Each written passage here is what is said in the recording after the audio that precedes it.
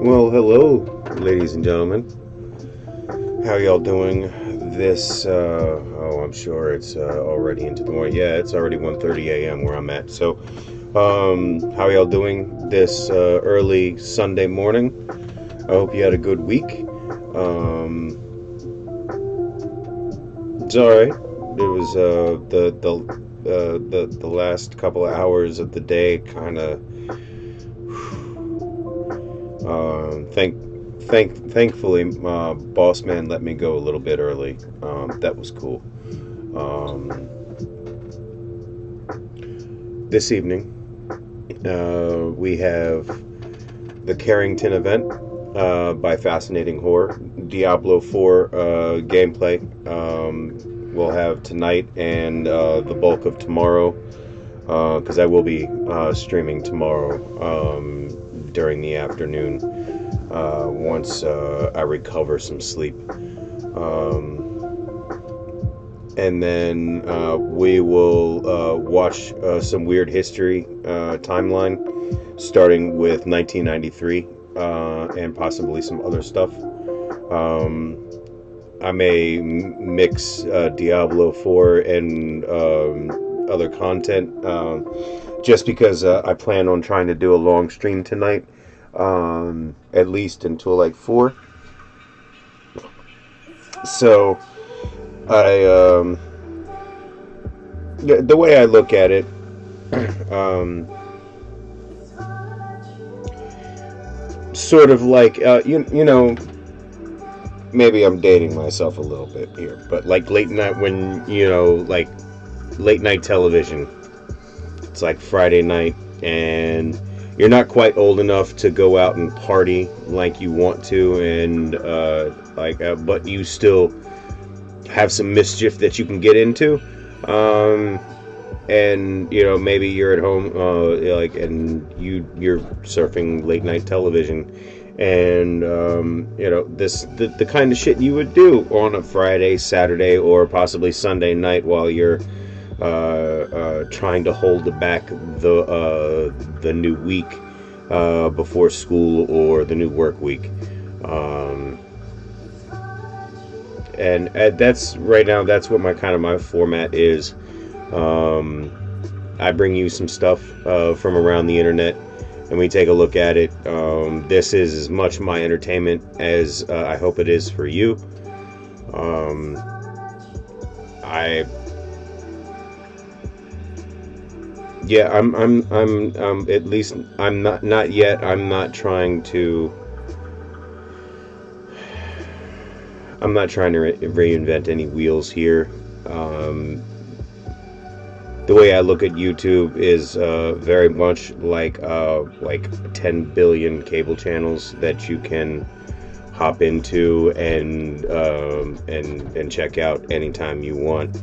And um it would be my pleasure to bring you some of the weirder, odder, um, or more interesting tidbits uh, from uh, those corners of the web.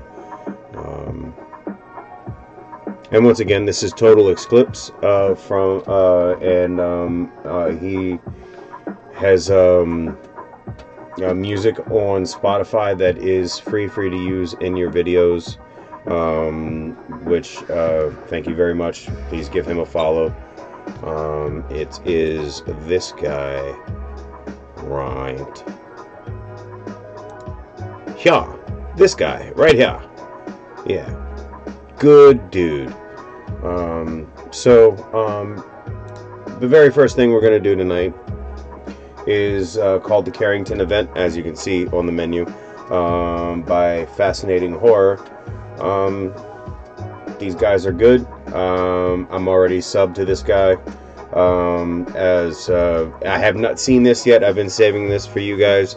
I very much uh, like uh, content that I put up on here to be fresh.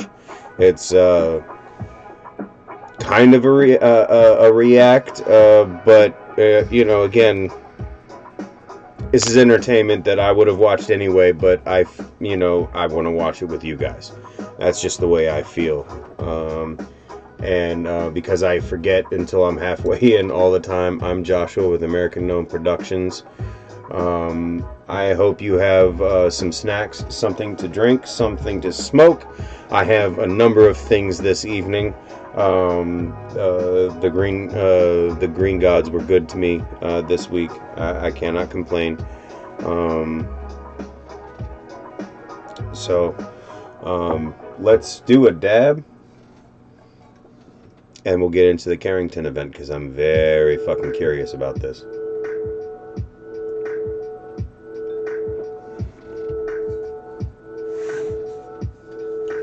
I've also been uh, uh, peeping uh, a number of builds um, that are uh, very interesting for the Necromancer. Um, uh, Necromancer is always the class I go for, uh, all the way back since um, Diablo 2, I think, was when the Necromancer first came out, maybe earlier.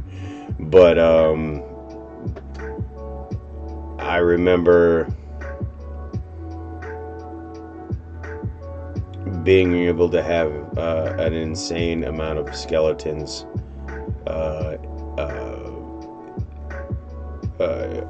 that you could have an insane amount of skeletons on screen at once, uh, especially when you decided to break the game.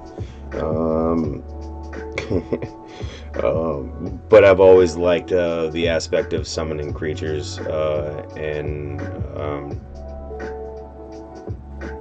having them destroy things uh, in a spectacular fashion uh, that gets you loot and gets you progression.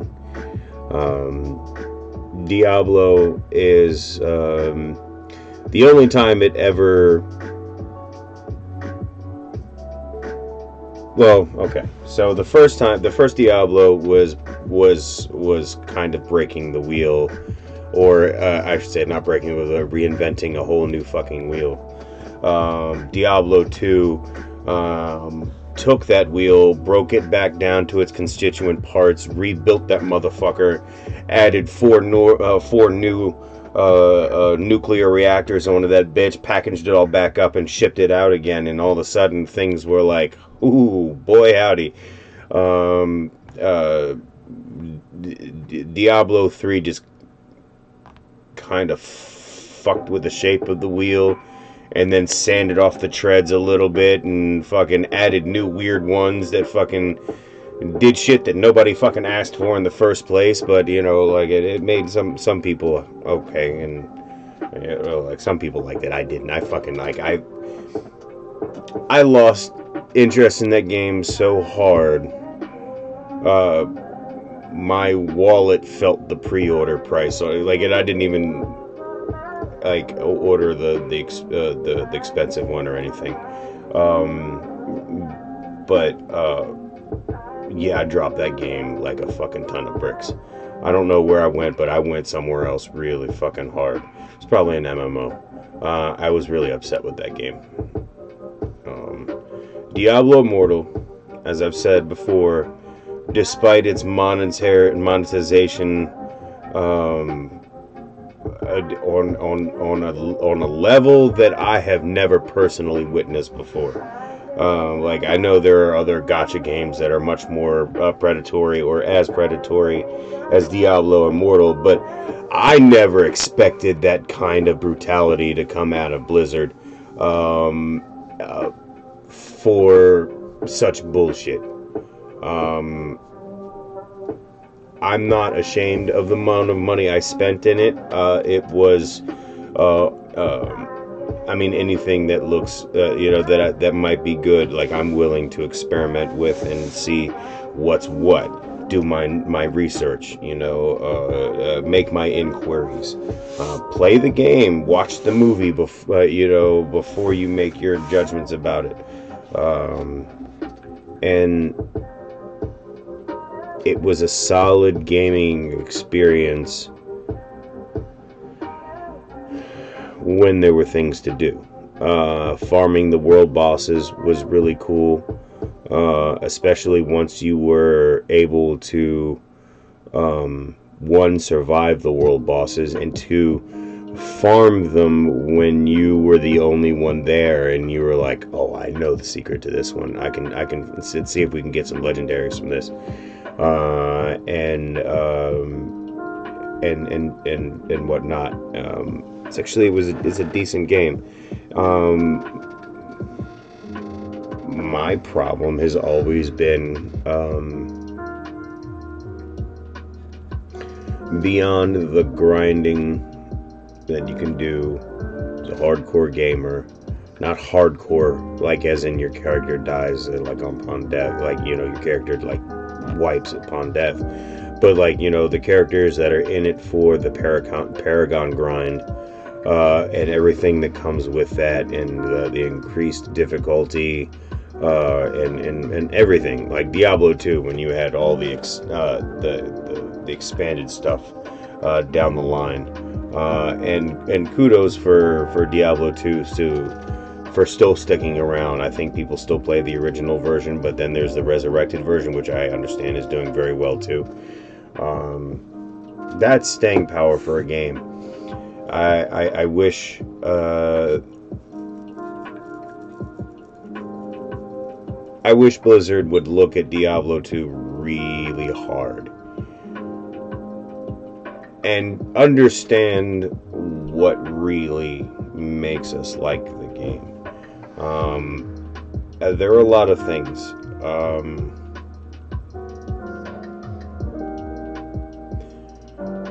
part of it has to do with nostalgia, like because uh, people like me, we played Diablo One and then the descent into the church and everything, and wow, that was really cool. And now that now you could do that but you're going off into different worlds and there's a uh, different like you know environments and, and, and countries and whatnot and um, and and there was this much bigger story um, and an extended st- you know what I'm saying? Like it actually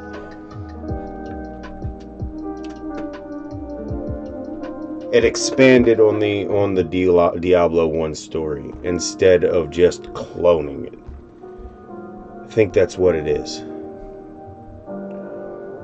It's the last time that Diablo or that Blizzard had original content for that game. Because I don't count Diablo 3, that was bullshit. The amount of time you spent on that game, and that's the fucking story you give us? Fuck you. Reaper of Souls, okay, but still, weak overall. Weak. Weak sauce. Weak. So I'm hoping Diablo 4 expands expands the lore. I didn't really like the storyline for Diablo Immortal either. I thought that was like a, I thought it was just like placeholder fucking content for the game to give you a storyline. But it was still at least I didn't hear the name Diablo in like direct mention again. It's refreshing.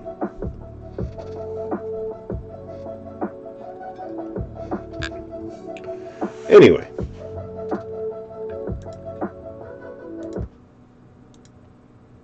Hi, Miss Ashante. How you doing tonight?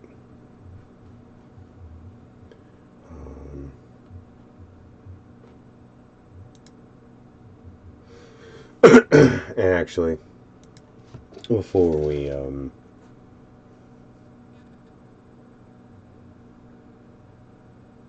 you know what? No, no, no, no. We'll just jump into it. The Magnus Archives.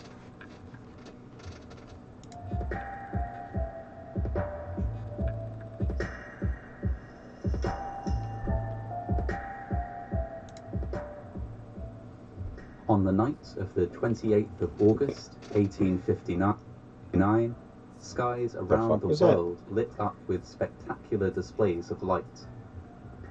In some places, the heavens glowed red, as though reflecting a massive wildfire. Elsewhere, broad bands of white light were seen dancing across the night sky. For almost a week, skies around the world glowed so brightly that it was possible to read a newspaper at midnight. Everywhere, people gathered and gazed upwards, terrified and awestruck in equal measure. The vast majority had no idea of what they were witnessing and could only assume that it was a portent of the end of the world. Reports exist from many different countries of the strange phenomena that could be seen during the week which followed the 28th of August 1859. In Boston, the sky glowed red to such a degree that many who witnessed it believed that there was a fire burning over the horizon, at least until the red transmuted to a vivid green. Elsewhere, witnesses reported seeing columns of light moving across the sky and spoke of multicolored rays and arches forming, coalescing, and disintegrating. Yep. One account in Doesn't the San feel right. Francisco Herald ran as follows. Gotta follow tradition. The whole sky appeared It must to be observed. something like a field of grain in a high wind. The waters of the bay reflected the brilliant hues of the aurora. Nothing could exceed the grandeur and beauty of the sight. The effect was almost bewildering and was witnessed with mingled feelings of awe and delight by thousands. Such was the Excuse brightness me. of these lights My that apologies. many people rose from their beds, thinking that dawn had arrived. A group of masons in South Carolina got up and started work on a job site before realizing that it was still the middle of the night and going back home. In Virginia, a railroad conductor, angered by the sound of larks singing as though it was morning, when in fact it was only just 1 a.m., got out his pistol and shot three birds dead so that he could get back to sleep. Oh shit. At the same time, in Ohio, the sight of the night sky illuminated like a Christmas tree proved too much for one 16 year old girl. Over the course of the week long event, she became increasingly agitated, believing that the strange lights heralded the end of the world. She was ultimately committed to an insane asylum. It's not nice. At the same time as the Heavenly Light Show was sending the general population into a frenzy of fear and wonder, telegraph operators around the world were also experiencing bizarre and unexpected difficulties. Something was wrong with their equipment. In some places, telegraph operators received electric shocks and burns when they touched their telegraph keys, or witnessed sparks and arcing from telegraph wires. Elsewhere, operators discovered, much to their surprise, that they could unhook their batteries and still continue to transmit messages. Operators on the American telegraph line between Boston and Portland, after briefly marveling that they could work without batteries, went about their business sending the messages of the day as normal, batteries disconnected. Holy shit. Newspapers during the week of the event were dominated by accounts of the lights in the sky and the disruption of the telegraph system. In some cases, this was all that could be printed, since interruption of telegraph services meant that no news dispatches from the wider world had come in. All in all, these events defied explanation, leaving many to speculate that they were signs of the coming apocalypse. The actual explanation was rather less catastrophic and would be uncovered by the report of a British amateur astronomer, Richard Carrington. On the 1st of September 1859, he was in his private observatory on his estate just outside London, busily monitoring sunspots. Oh, as you can see, Sunspots My, um, my telescope the on my surface of the sun estate. and Carrington had devoted a great deal of time to tracking their movements, as he believed that their importance was only just beginning to be understood. Mm-hmm. While he was busy with his work, Carrington witnessed something unusual. Two patches of intense white light appeared on the surface of the sun, flared briefly, and then disappeared. Intrigued, Carrington made a drawing to capture his observations, something he would later send to the Royal Astronomical Society as part of a complete report. Although he didn't know it at the time, Carrington had just witnessed two in a series of solar flares.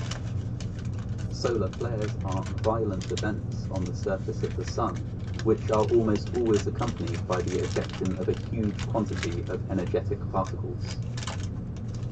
Of course, the Sun constantly emits a solar wind of such particles. Usually, we are completely protected from these by the Earth's own magnetic field. This field stops radiation from the solar wind from harming us and prevents it from degrading the atmosphere. Only a tiny amount of the material delivered by solar winds can penetrate our atmosphere. Because of the orientation of the Earth's magnetic field, this is most likely to happen at the North and South Poles, something which results in the phenomenon we know as aurora borealis, or the northern lights. During solar flares, the sun releases much more material than usual, a huge belch of magnetized plasma. When this is directed towards the Earth, aurora borealis becomes visible far beyond the poles. The solar flares witnessed by Carrington had just sent another massive dose of magnetized plasma on its way towards Earth.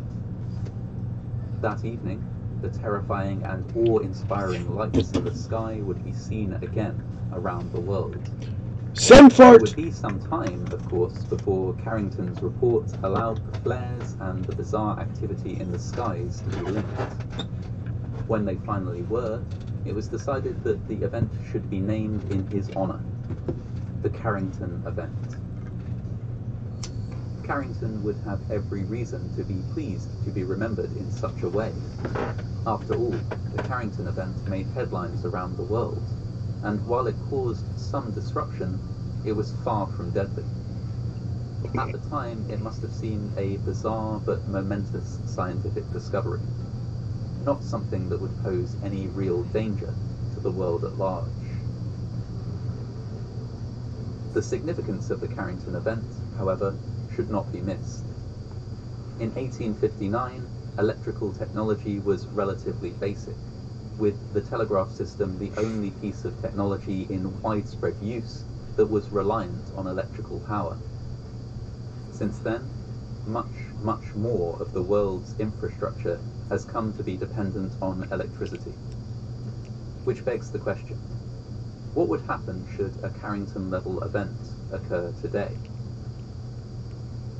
Good question. Unlike in 1859, it's fairly likely that we'd have some warning when a geomagnetic storm might affect the Earth. Systems currently in place should allow us at least one full day to prepare. And the long-term effects of the event would be very much dependent on that preparation. A quick and coordinated response would involve taking any systems that might be damaged by the event offline for its duration. In this best case scenario, then, a Carrington level event would mean a week of severe disruption the world over, but only a week. On the other hand, there is the worst case scenario wherein we fail to prepare, or where we don't have sufficient warning of an incoming Carrington level event. This would result in some of the most extensive blackouts ever seen. A simultaneous loss of power, loss of communications, and the failure of most modern technology. Planes would be grounded, hospitals left in the dark, traffic control in cities. Card-based transactions would be impossible. Refrigeration would fail. Banking services would be offline. Supply chains would crumble. The world at large could be thrown back hundreds of years in terms of technology. And this wouldn't necessarily be just for the duration of the event. If power grids were not taken offline to protect them before the event, permanent damage could be caused. Given the scale of some power grids, experts estimate that it could take as long as 10 years to completely recover from a worst case scenario Carrington level event. Finally, it should also be stressed that it really isn't a question of if, but when. Hmm. Estimates vary, but it is thought by many that a Carrington level event might strike the Earth, on average, once every 150 years. At the time of recording, it has been more than 160 years since the Carrington event. We are, by some measures, overdue.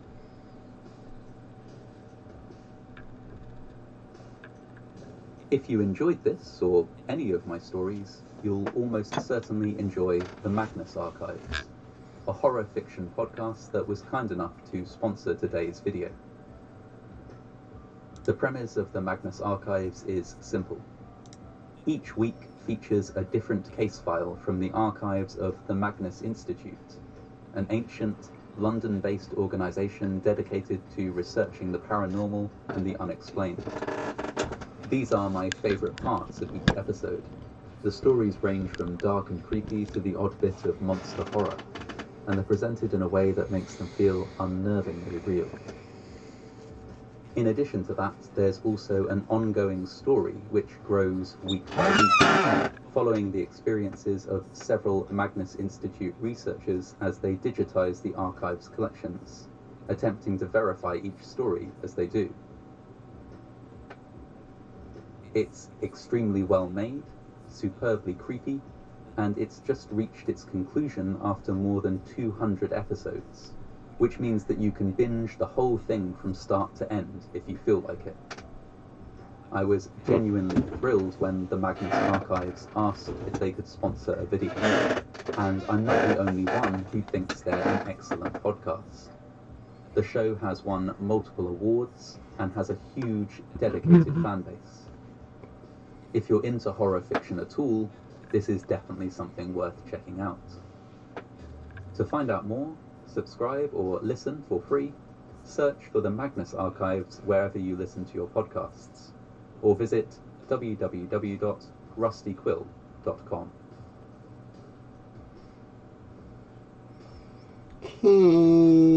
yeah.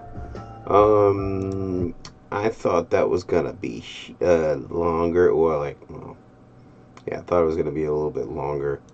Uh, so, um, let's um,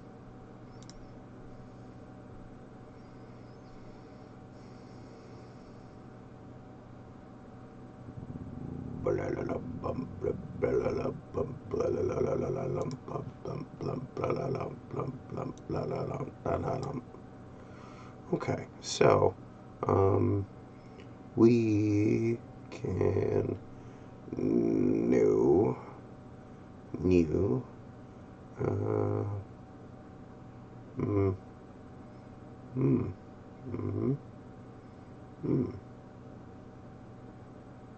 Okay, well, actually, um, because uh, it's not all about uh, one thing here. Um, uh, maybe after we do uh, Diablo, let's do this one.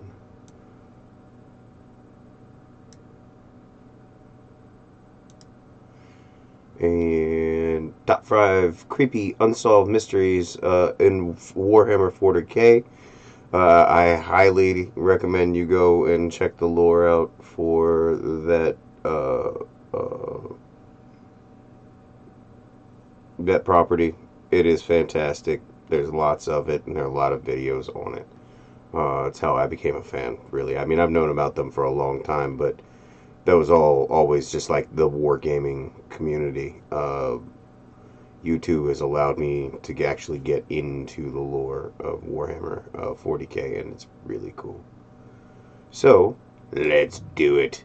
And this is by Wes Hammer. I'm sure you've probably seen him on um, on YouTube, uh, shorts and whatnot.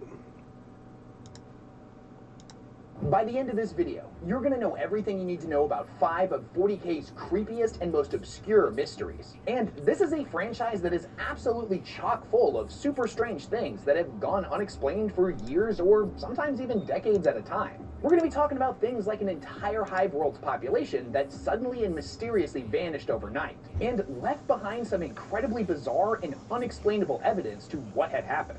A terrifying black star that shows up out of nowhere and everyone who sees it turns into a fanatical raving cultist. And some super creepy ancient alien devices that grant their wielder immortality. But eternal life comes at a terrifying price. We're going to be talking about all that and a whole lot more, but before we dive headfirst into the Grimdark, I'm, I'm going to be honest with you, I've got bills to pay. So it's sponsor time. But what do you think it's going to be? I'm sure you've seen a million of these segments on YouTube before. Do you think it's going to be a VPN service, some type of food delivery, some kind of health supplement? If you said yes to any of those, my friend, I regret to inform you that you are in fact incorrect. It's your boy, Raid Shadow Legends. Raid Shadow Legends Come on, man. gaming world by I played that game. With its super Um, it was fun for a while. system, amazing graphics, intense PvE boss battles, and literally hundreds of unique champions to collect. No matter how many new characters get added to the game, nobody forgets their first champion. And for me, that was my man Galek. He's an absolute I remember I had him. carried me through a lot of really tough fights, including a couple of wins in the arena, not to mention helping me absolutely wreck a lot of dungeons. I've unlocked a ton of champions over the last year, but I'll never forget my battles with this guy. And if you didn't know, it's actually Raid's 4th anniversary, and there's a ton to get excited about. I'm talking dedicated offers, free gifts, promo codes, and a brand new fusion event. I was in the get your hands on Summoners War more. I had a champion. You'll also be able to take a monstrous account with- in- in that game. video of your stats in Raid. Oh yeah, in the next Amazon Prime drop, it's going to have a ton of powerful gear for the champion Genbo. It'll be available from March 2nd till March 30th, so keep your eyes open. There's a lot of exciting stuff coming to Raid, so if you haven't started playing yet, then now's the perfect time. Use my link in the description, or scan my QR code here on the screen to get some insane bonuses. We're talking an epic champion, Kellen the Shrike, and other useful things like energy refills, magic potions, and XP brews. And since it's Raid's birthday, the gifts keep on coming. Brand new and existing players can get a bunch of free birthday gifts. Once you're in game and after clicking on the links, just enter promo code 4YEARSRAID to get your hands on four legendary skill tomes, plus some other super useful stuff. It'll all be waiting for you right here. Big thanks to Raid for sponsoring this video. Number 5. Komus, the Tyrant Star. Warhammer 40k is no stranger to prophecies. Now, whether they be chaotic, xenos, or even human in nature, there are tons of examples of ancient prophecies that foretell a great far off apocalypse. One lesser known of these prophecies speaks of the engulfing darkness that will ultimately devour all of human civilization. It's detailed in a manuscript the Inquisition refers to as the Prophetica Hereticus Tenebrae. This event is said to be heralded by all manner of signs that will gradually transmute human minds and make them ready to embrace eternal darkness. The origin of the prophecy is currently a mystery to us as the audience, as it is said to be held within the Bastion Serpentis archives, and none but Lord Inquisitor Zerbe are permitted to study it. The Inquisition has a lot of different theories on the nature of this prophecy, some claiming that it is clearly chaotic in nature, whereas others point out that the word devour shows up pretty often in the text. We don't know what species penned this prophecy, but if it was the Eldar, then the word devour is used by them pretty frequently in reference to the Tyranids. Komus itself is said to be either a black sun or a halo of black flame, a herald of the encroaching darkness represented in the text itself by, as of this moment, an unknown rune that bears a striking resemblance to the clawed foot of a bird. The symbol has never been seen in any other text, so we don't really know its origins. On one hand, we might be able to write this off as a spooky prophecy from some unknown ancient xeno species that all but certainly has gone extinct. But not so fast, as the Calixis sector has been plagued by a bizarre, reoccurring phenomena over the last century a monstrous black sun, matching the descriptions in the text, suddenly and mysteriously appearing out of nowhere in various locations throughout the sector. No two appearances have ever been quite the same, but there are definitely discernible patterns that link them all together. In most cases, a ghostly star emanating black flames and esoteric unknown radiations spontaneously materializes within a planetary system. The thing shines malevolently for a few days and then mysteriously vanishes without a trace. Sometimes the black star appears alongside a planet's normal one, and sometimes it eclipses it entirely. The phenomena has been documented at least 18 times, but it's believed to have occurred far more than that. Sometimes the sun showing up in far more subtle ways, like in the reflection of a wine glass, or only visible at night as a dark spot that's blacker than the night sky itself. The Tyrantine cabal of the Inquisition firmly believes that the spectral sun phenomena is, without a doubt, the tyrant star Komus mentioned in the prophecy, as it very closely matches its description. However, there are some competing theories on what this thing actually is. Some say that it is a ghostly image of a stellar body within the immaterium trying to shine through the fabric of real space. In a similar vein, some say the star is within the warp itself and is partially translating into the physical universe, as if it is trying to find a way through. There are others still, even within the Inquisition, that claim that it is a Xenos artificial construct, a weapon of unknown origins that is incomprehensible to mankind. Whatever its origins, every single time the star appears, its visitation has caused public unrest and geological instability. For months before it shows up, a planet will experience unnatural earthquakes and volcanic upsurges.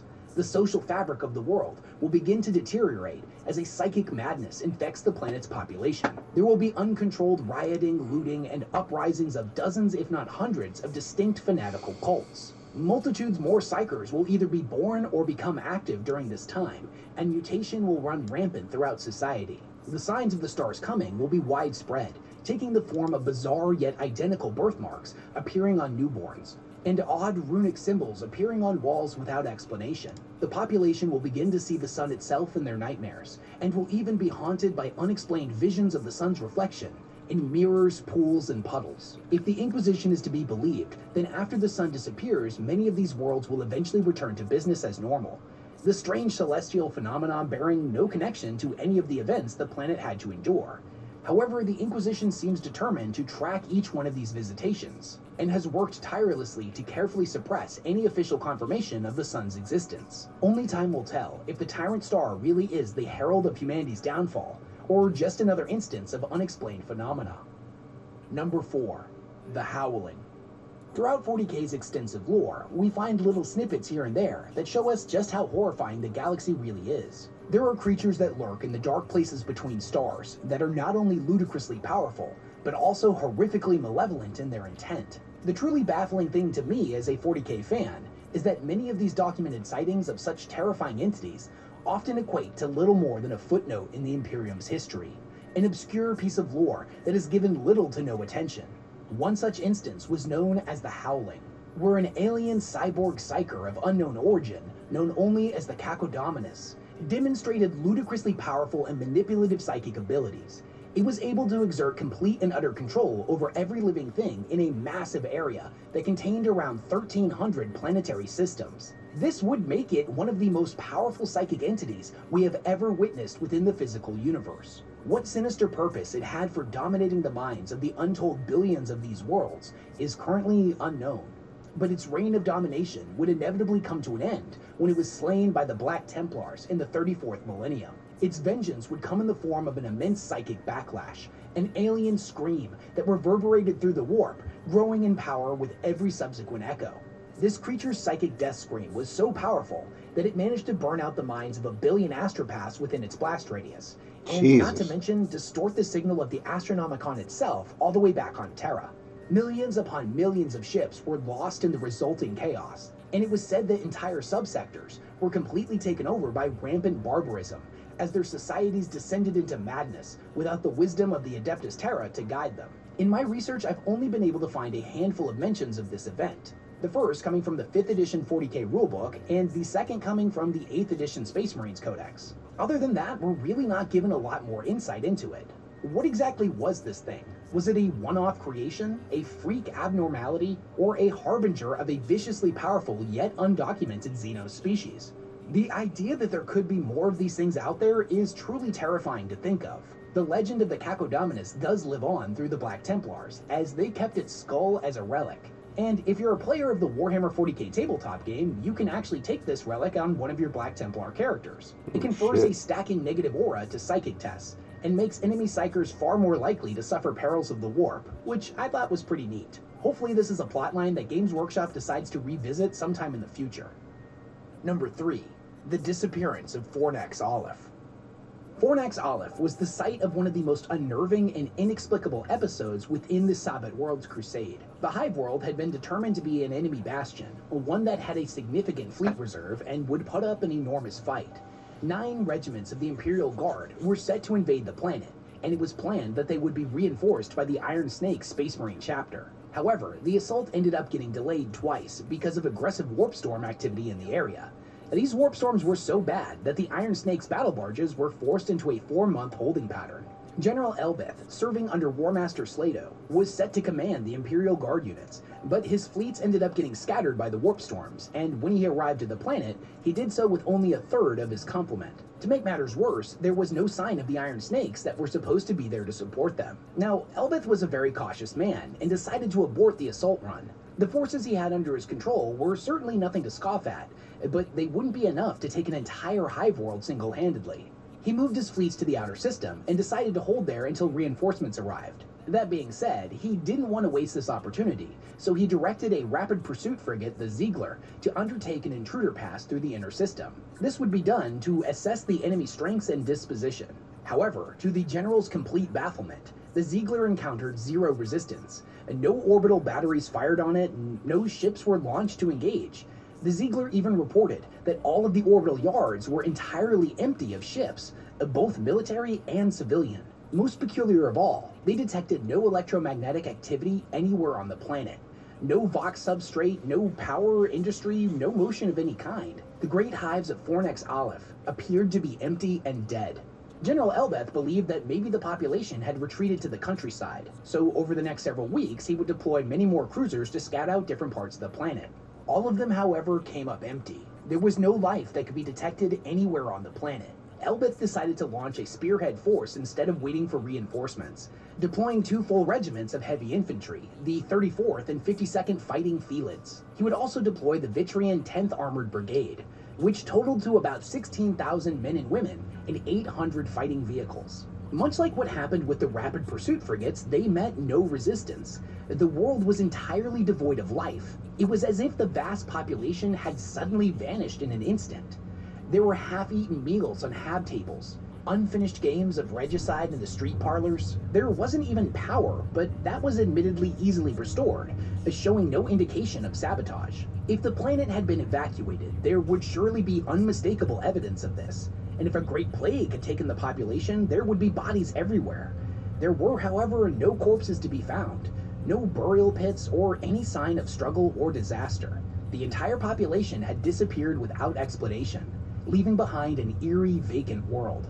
Unfortunately, the only thing we really have to go on is the transcribed reports that Elbeth gave back to War Master Slaydo. And those reports indicate that him and the men under his control were incredibly unnerved. Despite the uneasiness they felt, they ended up fortifying their position to wait for reinforcements. The men were getting more and more nervous each and every day, and during the night, they would Hey viewer, how you doing today? Chilling screams Um, of anguish Just watching some uh, Warhammer stuff. Search efforts. The source of the screaming was never located. On the first day at 7:15, Hope you're uh, doing okay this evening. All transmissions from Elbeth's Liberation Force abruptly ceased. It would be 80 more days after this Um, when the Iron Snakes Getting into this, and then I'm gonna hop on Diablo uh, for um, the 300 beta. of them immediately made planetfall and made their way to Elbeth's last recorded position. It was said that the Iron Snakes were a very serious chapter that were not easily disturbed. But Excuse their me. initial contact back to the War Master Slaydo lacked their characteristic demeanor. They seemed to be at a loss for words, their report only saying that there was no one here. There was no evidence that Elbeth and his forces had ever been there. If they had fortified a position, it could not be located. Whatever happened to the planet's population had claimed Elbeth and the men and women under his command as well. The Iron Snakes would spend the next month scouring every single inch of the world for clues to what had happened. For the most part, their search came up disappointingly empty, with one exception. Impossibly, a single Leman Russ battle tank was discovered 80 stories up on the roof of a hab stack. All of the Vox headsets inside were missing, except for the last 30 centimeters of their cords that had been plugged into the outlets. The cords themselves had been severed and somehow fused at a molecular level. The only human remains that were discovered was a single gauntlet, in which a calcified human hand was found still gripping the gearbox lever within the tank. No formal explanation of what happened on this world was ever established, and years later, the planet would be repopulated. Now, thankfully, since then, there have been no mysterious mass disappearances or anything like that. Wow. But to this day, the population has continued to report unexplained screams in the dead of night. Number two. Oh, the that's Labyrinth creepy. Of Thanotep. The Labyrinth of Thanotep is a It's always something to do with a Thanos something, isn't it? This infinite prison trammels in being so terrible that not even the Necrons dare to enslave them for war. What I just read to you is literally all the information on the labyrinth that exists. It was only ever mentioned briefly within the 9th edition Necron Codex, and then subsequently, never even so much as referenced again. So our imaginations are kind of allowed to run wild with this one. I just want to put it into perspective. Out of all of the terrifying things contained within the labyrinth, the Necrons have deemed them too dangerous to be enslaved for war. This is a faction that literally did just that to their gods, turning against the C'tan, Mm, shattering them the into dozens of fragments, Mm. and then subsequently enslaving those fragments and throwing them out on the battlefield like Pokemon. The only difference between the C'tan shards and Pokemon is the C'tan have the devastating power to completely sunder reality. Yet, whatever lurks within the depths of the labyrinth has these god killers spooked out of their robot minds. The idea that there could be entities out there far older than the C'tan, which are said to be as old as the universe itself, and vastly more powerful than them or even the Chaos Gods, is not that unheard of. As in the novel Godblight, there's an instance where an Eldari Farseer is talking of the Catan. He calls them the gods of the Materium, and that there are other, more ancient and even more terrible things out there. Whatever the Eldar was referring to may very well be what the Necrons have contained within the labyrinth, but that's just me speculating. We really don't have a lot to go on yet. With a lot of the 40k mysteries that exist, we're able to piece together little bits of information from across decades of contributions to the lore. Now, whether they take the form of full fledged novels, campaign books, codexes, white dwarfs, or even the various video games Yeah, and audio dramas that have been released, by piecing all this together, Those we can guys are slowly work our way towards an answer. A lot of the time, however, something will be mentioned briefly and then not acknowledged again by the authors for years or perhaps even decades until they decide. You guys want, we can cover uh, little bit more Warhammer lore. There's a lot of really good stuff. Of 40k literature, I think that's what we're seeing with the Labyrinth. Since its first mention was only a few years ago, I feel like it's something that's being set up for a future expansion, but only time will tell if Games Workshop wants to give us any more information on this admittedly cool and spooky place. Number one, the Halo devices. The Milky Way galaxy is impossibly ancient, and from the time of its inception, countless different civilizations have risen and fallen. Most of the species that saw themselves as the would be inheritors of all of creation ended up falling short and were confined to the halls of extinction. Their great empires succumbing to entropy, every piece of evidence that they had ever even existed eventually crumbling to dust. For some species, however, their great work endured long after the echoes of their existence returned to nothingness. Sometimes these took the form of ancient alien ruins that denied the passage of time and stood defiantly for millions of years.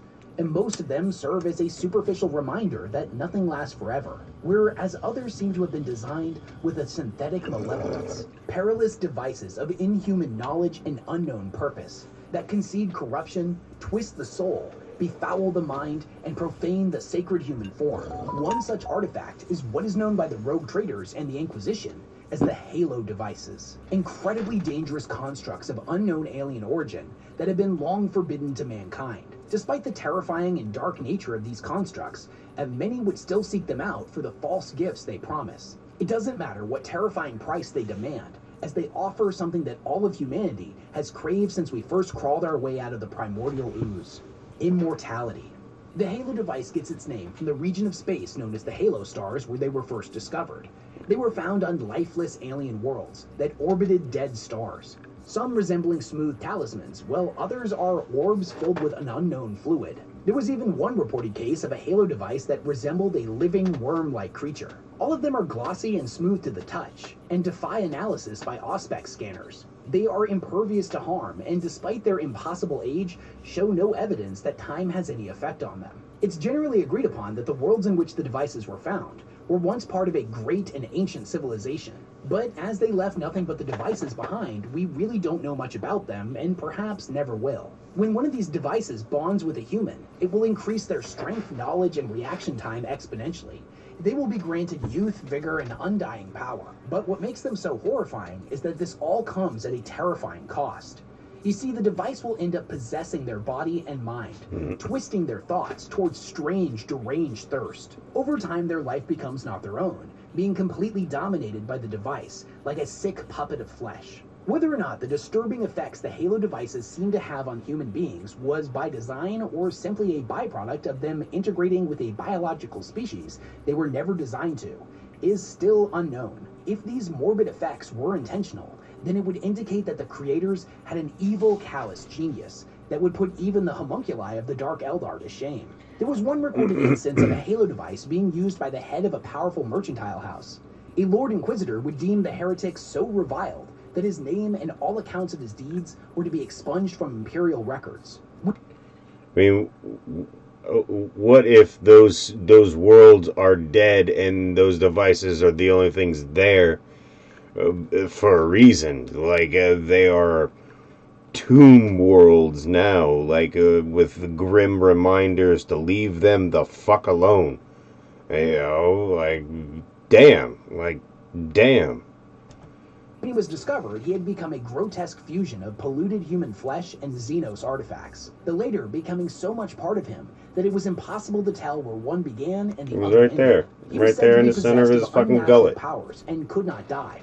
Now we don't know much about what exactly he was capable of, but it was said that his sins were so grievous and disturbing to the Inquisition that they ordered the execution of not just him, but of every living person within his house and all of the house's vassals as well. They were so afraid of this guy that his execution came in the form of him literally being thrown into the planetary system's sun.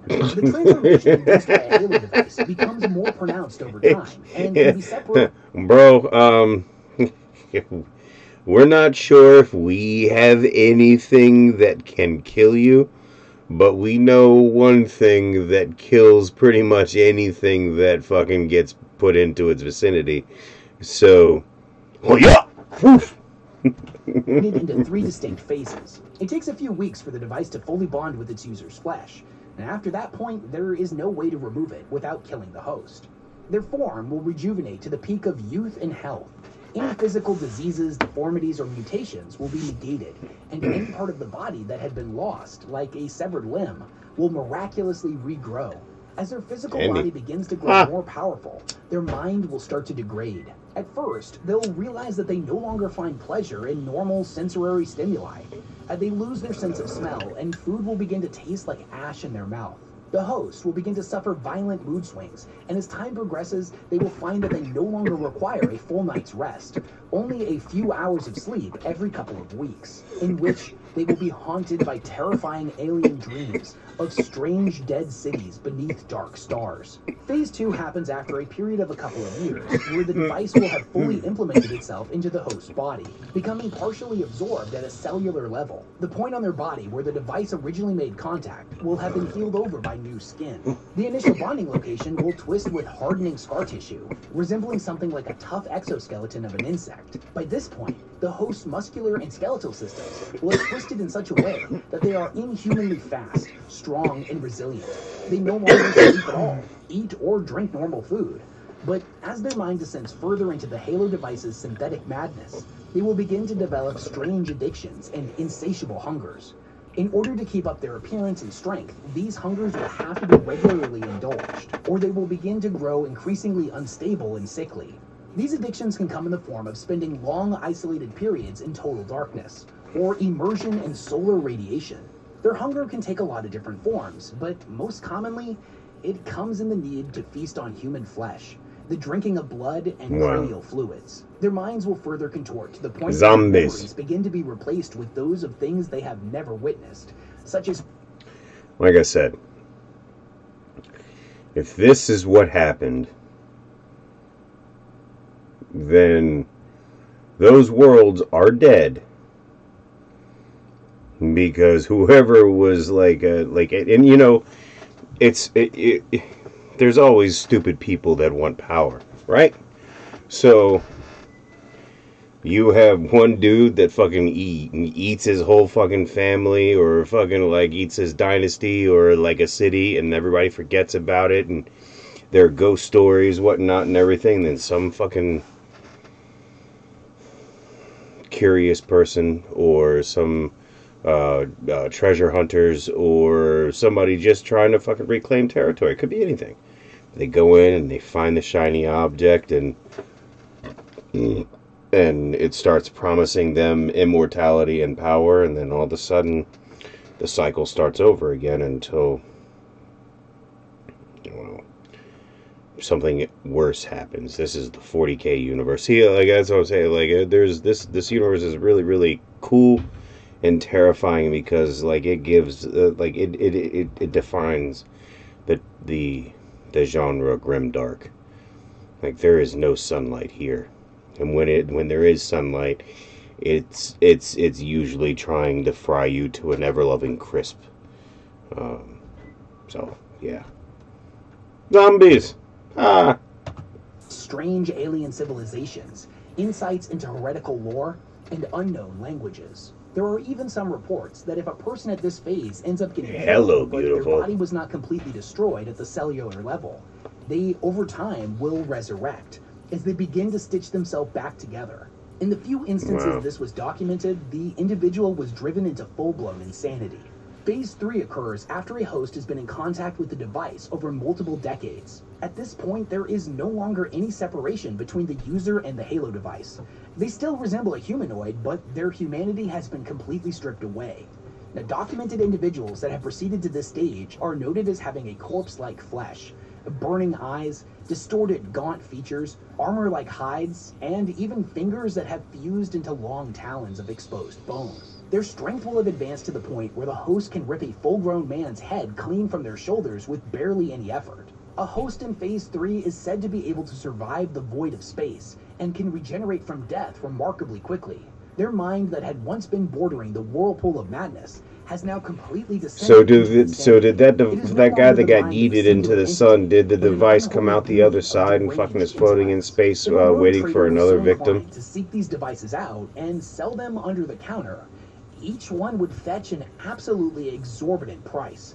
As the rumors of these devices mostly begin and end with the promise of eternal youth, due to the Inquisition's relentless efforts to cover up their existence. If a would-be buyer does know anything of their more terrifying side effects, they may view this as a price worth paying. However, Seriously? the trade of these things is not only utterly illegal, but an unforgivable heresy. The Inquisition views the Halo devices as an immediate threat to the Imperium's stability, Yeah. and thus has declared war on them and anyone who has ever even remotely come into contact with the blasphemous alien technology. They constantly scour the Calixis sector for any rogue traders that would attempt to secure them or sell them in underground markets. Anyone found to have come into contact with a Halo device will be eradicated without mercy. As the years go by, more and more of these devices are unearthed, and how many of them are currently out there in circulation is currently unknown. But considering the Inquisition has so far been unsuccessful at containing their plague of madness, it seems like an undeniable conclusion that they will eventually spread throughout the entirety of the Imperium, and the amount of damage they'll be able to do is incalculable. And that was five of the creepiest and most obscure 40k mysteries. Which one was your favorite? Which one did you find the spookiest? Is there anything else you found in this franchise that you find super creepy and you'd love to hear me talk about it? Then let me know your thoughts down in the comments below. If you've been watching my channel for a while, then you know that I genuinely read just about everything y'all post, and one of my favorite things to do is to hang out in the comment section and nerd out about 40k with y'all. If you've made it this far in the video and you haven't subscribed to the channel yet, then what, what are you even doing? Come on, come on and join the West Hammer party. I'm going to be posting a lot more cool stuff like this, and I don't want you to miss out on it. And while you're at it, go ahead and roll the charge that like button. Big thanks to everyone who supports the work that I do, and I'll catch y'all in the next one.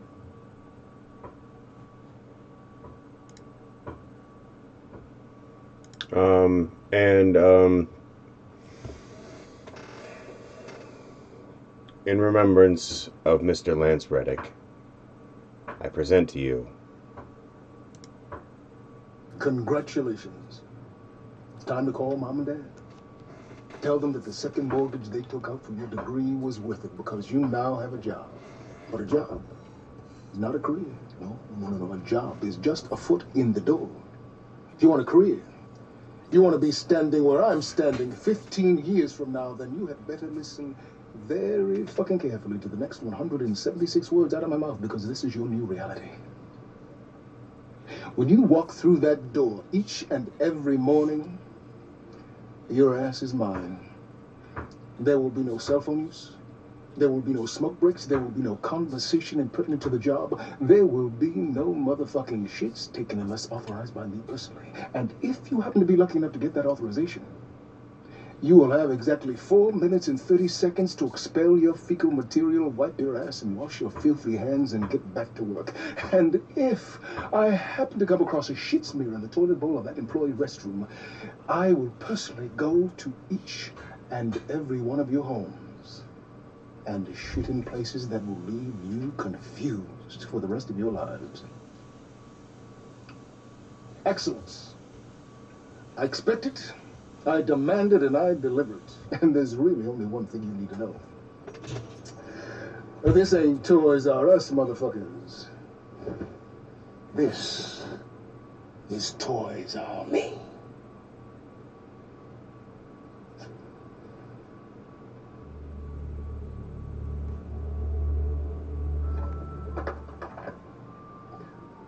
What the fuck is this? Uh, it's the Bakugan display you asked me to set up. Imagine, if you can, that you are a proud and powerful Gargoyle. Can you do that? I don't know. I don't. I don't think so. Imagine it. Okay. Now, you tell me, would a Gargoyle call this a Bakugan display? Or would a Gargoyle call this a bitter insult to his race? Not worth shitting on for all the savory dream crystals in the lavender cloud dimension. Know the goddamn toys and show them some fucking respect!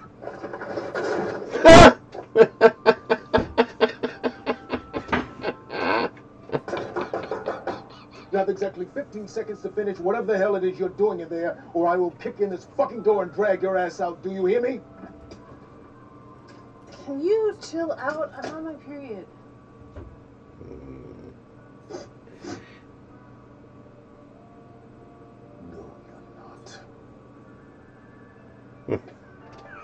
This toy store sucks. There's not even any Xbox games. Have you ever heard the story of the rich old man and the stray dog? No, sounds crappy. Uh,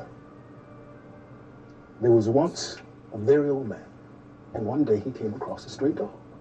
Well, he decided to take that dog home with him. And that dog went straight to the fire and rolled himself up in an old rug and started chewing at an old bone.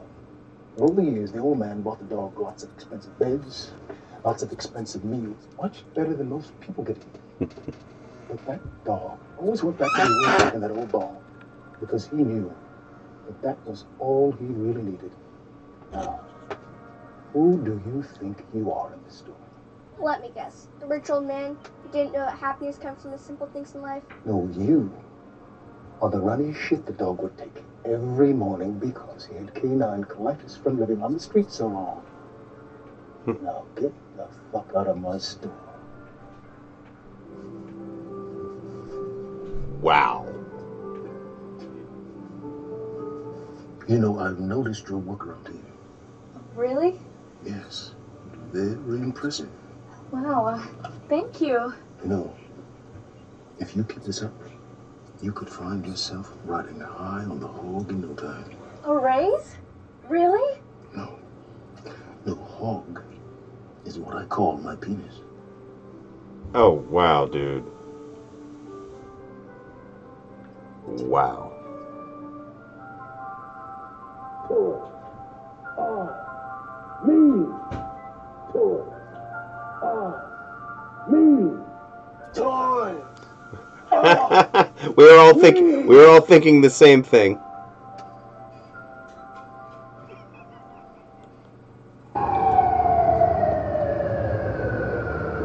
Hell yeah. And uh and, uh, I guess a free plug for Funny or Die. Uh, are they still around? oh man.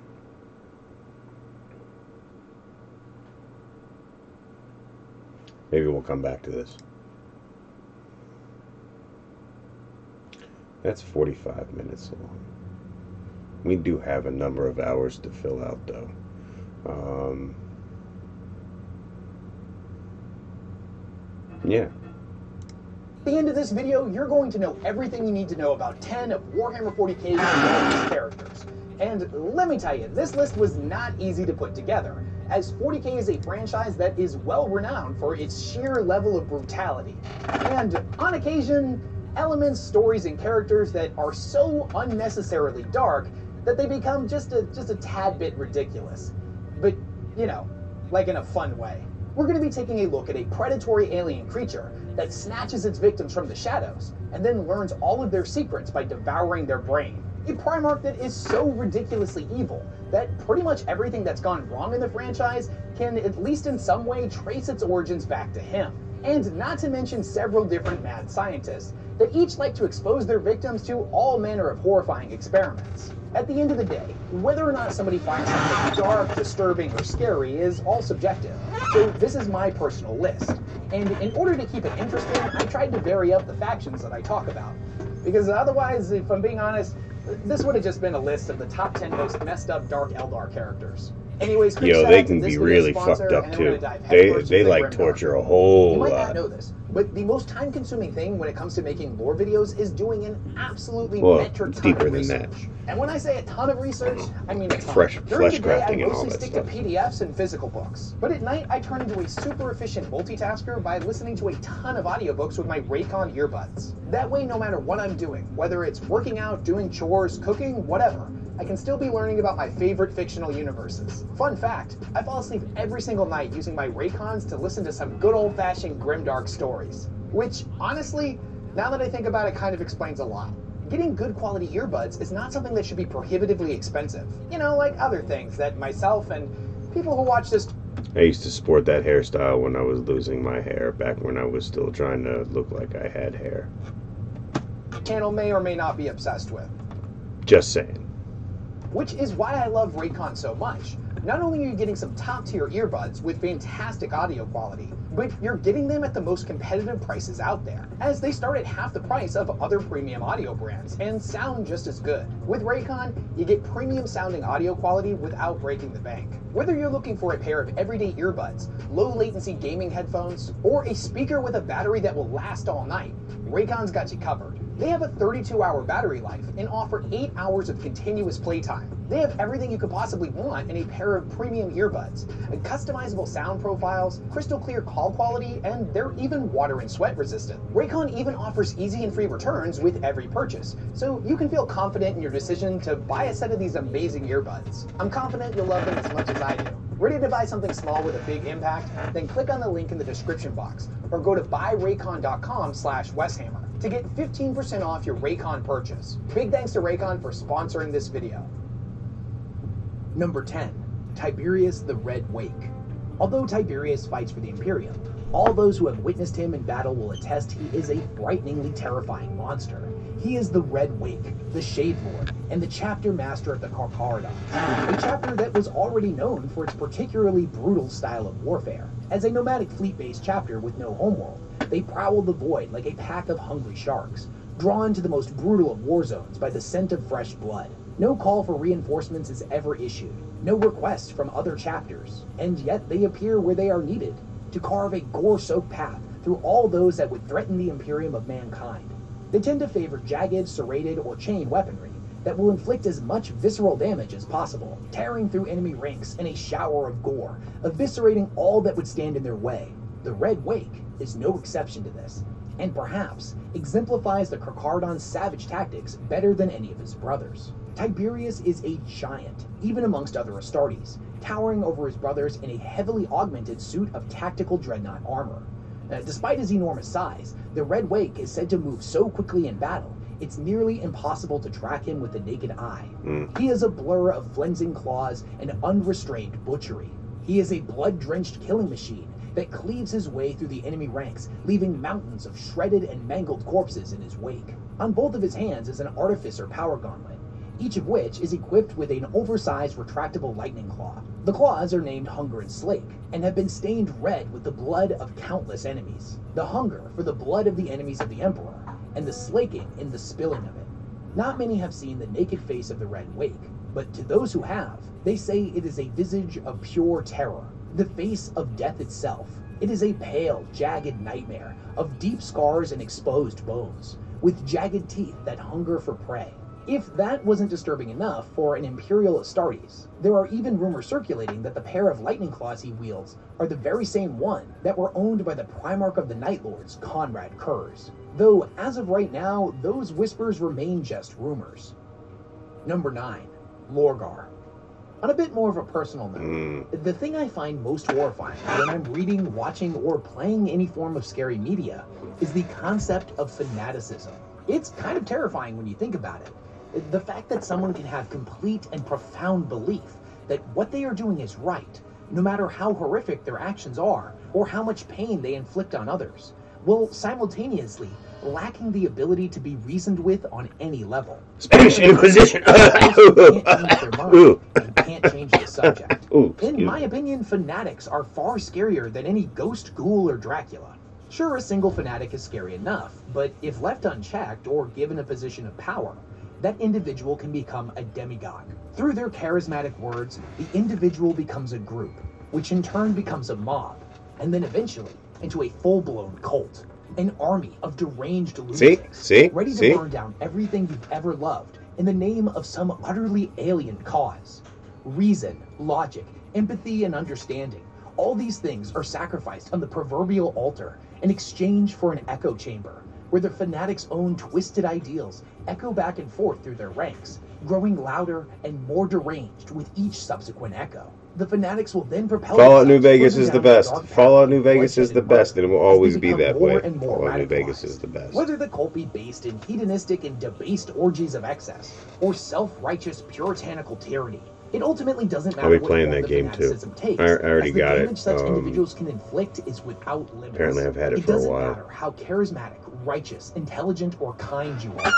There is no reasoning with the mob, no debating the cult.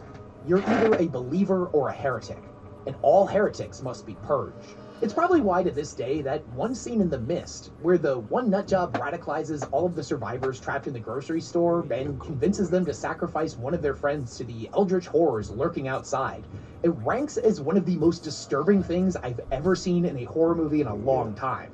And it's also why the word bearers, and more specifically, their Primarch Lorgar, are so deeply horrifying to me. I'll eventually get around to doing a deep dive on him, but for the moment, as a brief introduction to the character, Lorgar is the Primarch of the Space Marine legions known as the Word Bearers. He was a deeply religious person, raised by the priest Kor Phaeron on his homeworld of Colchis. By the time he would come to take his place with the Emperor's Imperium and lead the Word Bearers in the Great Crusade, he had fully dedicated himself to worshipping the Emperor as the one true God, something that completely went against everything that the Emperor stood for. Now, despite this, for unknown reasons, the Emperor allowed this to continue for a time, until the Word Bearers began to fall behind in their tally of conquered worlds. You see, a portion of the Word Bearers would choose to stay behind on each of the worlds they came to, molding the population until they had completely dedicated themselves to the worship of the Emperor. Now, this obviously left many of the worlds they visited to be some of the most fiercely loyal that had been recaptured in the Great Crusade, but their efficiency overall had certainly fallen behind.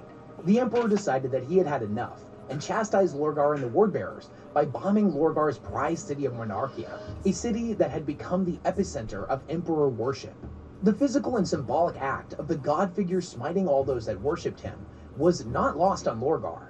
Although he swore to cease worship, the need for a god was too deeply ingrained in him, and he would set off on a pilgrimage to find beings truly worthy of his devotion.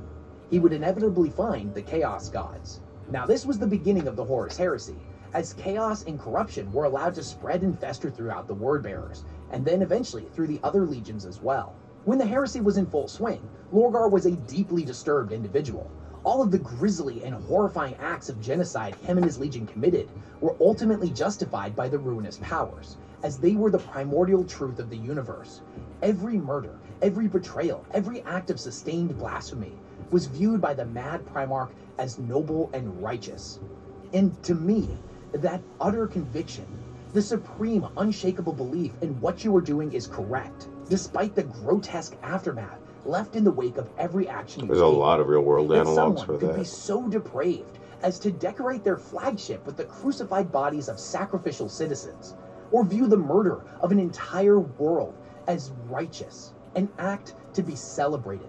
The idea that somebody could be so utterly insane yet do all of this with a smile on their face, plagued by delusions of grandeur and enraptured by holy fervor, is unbelievably terrifying to me.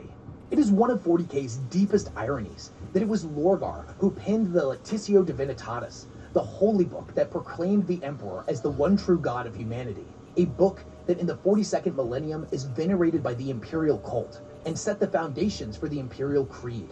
This is a passage from the novel Betrayer, where Lorgar was trying to get Magnus of the Thousand Sons to understand and appreciate what he was trying to do, and ultimately get Magnus to dedicate himself fully to the heresy.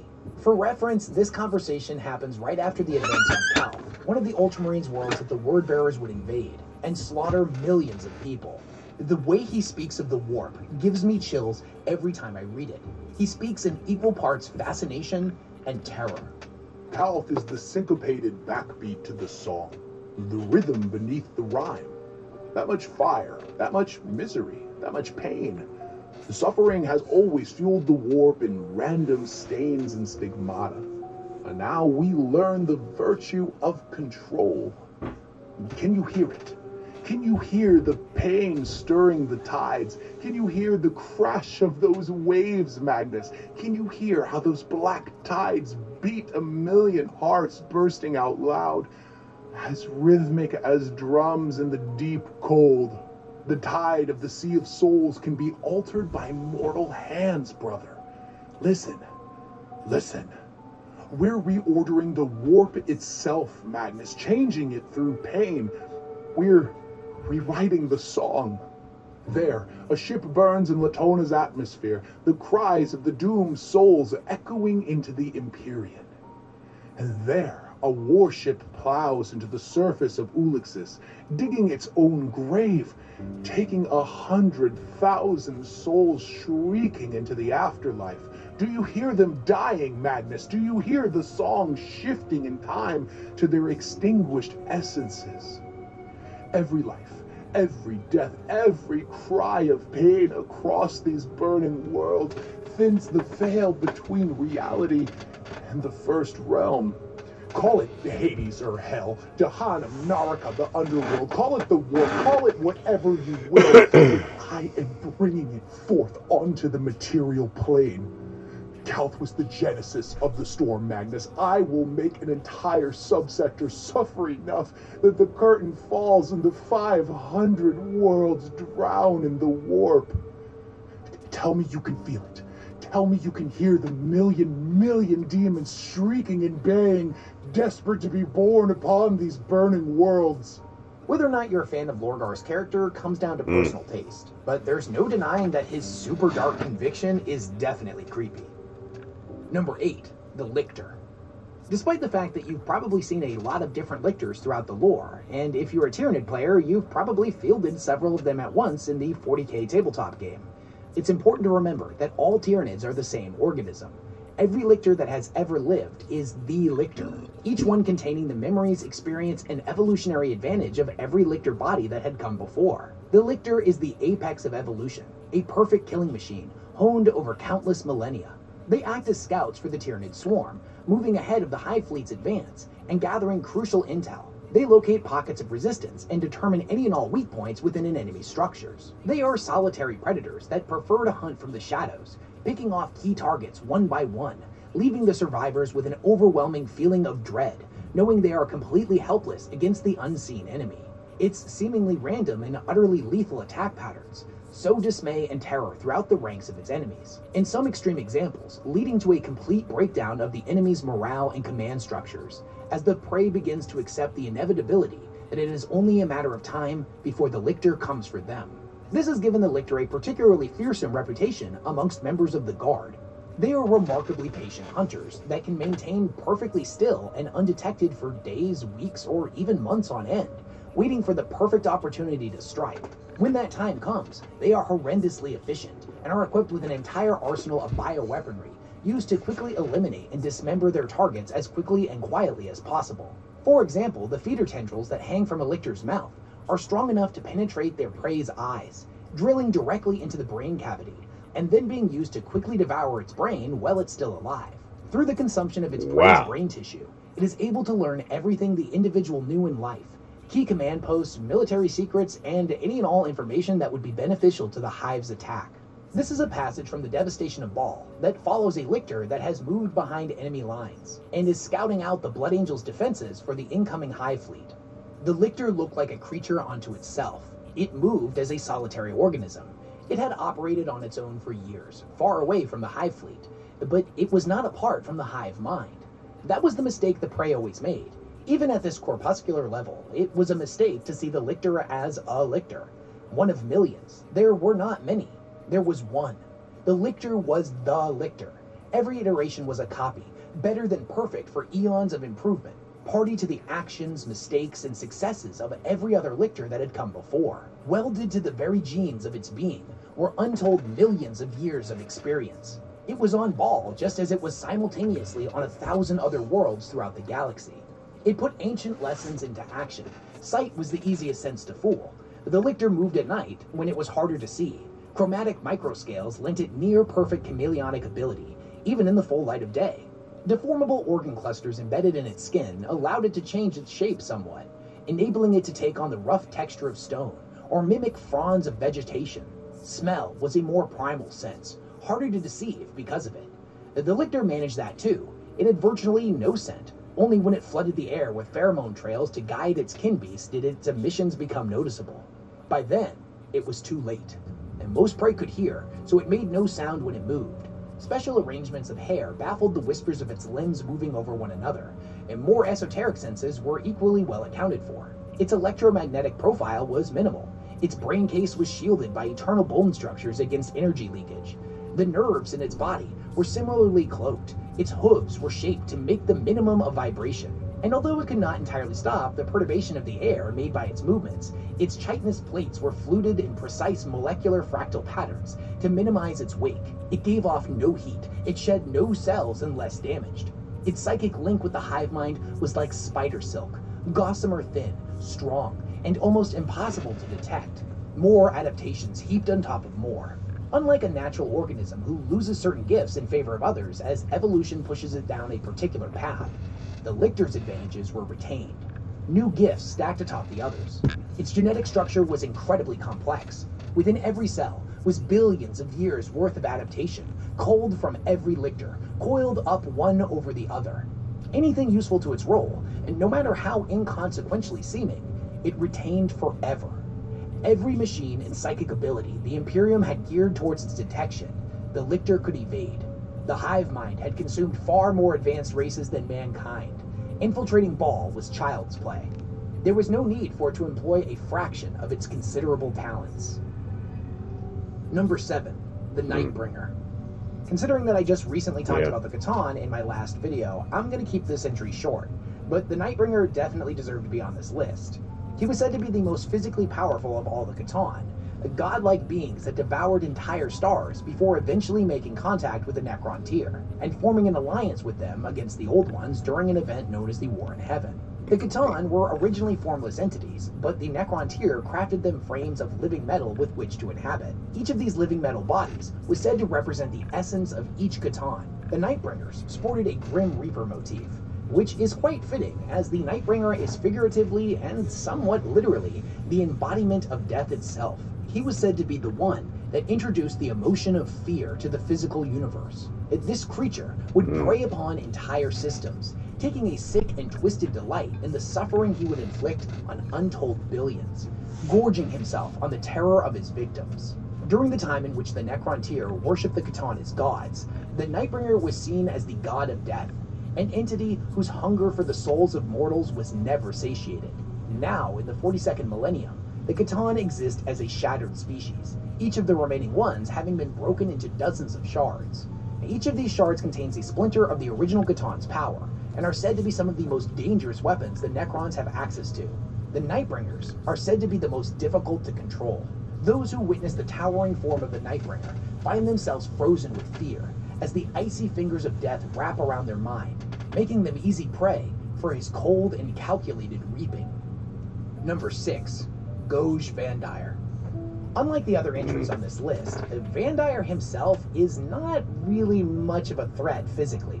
He's an old man that, through a huge campaign of coordinated assassinations, backstabbing, and blackmailing, managed to become the head of not just the administratum, but also the ecclesiarchy at the time, making him single-handedly the most powerful person in the entire Imperium, and next to the Emperor himself. One second. I actually had a pretty lengthy segment on his entire backstory in my Sisters of Battle deep dive if you're interested. What makes him creepy is his utter insanity. The dude was a vindictive monster who, in his later years, was known to babble gibberish to himself at all times. Any who witnessed such a display were told that the Emperor was directly conversing with him, or more commonly, Vandire would just have them executed. At one point, he would discover a faction of warrior women known as the Daughters of the Emperor, who would one day become the Sisters of Battle. He deceived them into thinking he was the chosen of the Emperor. The creepy bastard renamed them the Brides of the Emperor, conscripting them into service as his personal bodyguards. The lore doesn't go into a lot of specifics here, but it's not difficult for us to imagine this power obsessed monster had taken this proud and honorable faction and degraded them into a harem of eye candy to be at his side at all times. His period of rule would come to be known as the Reign of Blood. No one was safe from his tyranny, and as his insanity and paranoia grew with every passing day, he would take to torturing any of those who opposed him, regardless of whether or not they were guilty. He would claim that through the sadistic acts he inflicted on others, he was purifying their souls. He had a massive network of spies and other militaristic factions that had pledged loyalty to him. Whether it was because of belief in his cause or out of fear of what he would do if they refused his orders, most likely varies from person to person. That fear would have been well founded, however, as he would unleash his armies against countless worlds within the Imperium if he detected even a small percentage of a planet not being completely under his control. Whether that take the form of virus bombing innocent worlds, to melting a planet's polar ice caps in order to drown its entire population. There was no limit to the profound levels of cruelty the mad ecclesiarch wouldn't condemn entire populations to. Due to his madness and paranoia, it is believed that many of these worlds were actually completely loyal, and that the bloodshed that would follow slaked nothing more than his ego. Thankfully, Vandire's rule would eventually come to an end when many of the other Imperial forces rose up against him, including the Custodians, who at the time had retreated into the Imperial Palace. Their role was to answer only to the Emperor, so they had mostly stayed neutral in the affairs of the Imperium. It was through a conversation with one of these custodians that Alicia Dominica, a woman that would become the first saint of the Adeptus Sororitas sometime later, and the founder of the Ebon Chalice Convent, would be convinced to journey to the Golden Throne where it is believed that the Emperor spoke directly to her and told her the truth of Vandire's madness. She returned to the palace immediately and executed him on the spot for crimes against the Imperium. Despite his relatively short rule, there are still echoes of Vandire's reign of blood that continue to haunt the Imperium mm, mm, mm, even today, thousands of years later, and he remains one of 40k's creepiest characters. Number 5. Illuminor Szeras. The Necron dynasties can't agree on much, but one thing they seem to all be in alignment on is that Illuminor Szeras is a completely despicable monster. It was he that was responsible for the Necrons' ascendancy into their living metal forms through biotransference. The genesis of their transformation may have started in the C'tan's knowledge, but it was Szeras who built the machinery to make it happen. He has little remorse for this event, and sees it simply as another stepping stone to his ultimate journey of unlocking the secrets to life, and eventually ascending to godhood. Despite his nature as something of a pariah amongst other Necrons, they still all recognize his sheer, unequivocal genius, and thus no Phaeron would be foolish enough to deny his support. As a being of living metal, Szeras is no longer hindered by sleep or the need to stop and deal with the countless frailties and needs of those who still inhabit bodies of flesh. Thus, there is nothing to distract him from his purpose. He is a creature with thousands of years of experience, delving into the secrets of life, Yet, despite his relentless pursuit of knowledge, the secrets of the soul always seem just beyond his grasp. Some believe such forbidden knowledge was only ever meant to be known by the gods, a belief that Szeras refuses to accept. To the end of unlocking the secrets of the universe, Szeras has descended into a calculated madness of dissection, torture, and all manner of other horrors in which he inflicts on his captive test subjects. Whereas creatures like the Drukhari delight and feed off the pain they inflict on others, Szeras is seemingly immune to it, finding the act of torture nothing less than fascinating and ultimately enlightening. He is a mad scientist, an individual driven down a depraved path in the ultimate quest for knowledge, that sees no act as too taboo, malicious, or cruel. He is the incarnation of science taken to its extremes, unbound by the shackles of morality. Because of his complete understanding of organic life forms and the exact methods with which to deal the most damage and maximize their levels of pain and suffering, he is completely unrivaled when it comes to upgrading and augmenting every weapon, construct, and facet of Necron machinery. Even for a race as terrifying as the Necrons, his methods are seen by his peers as needlessly cruel.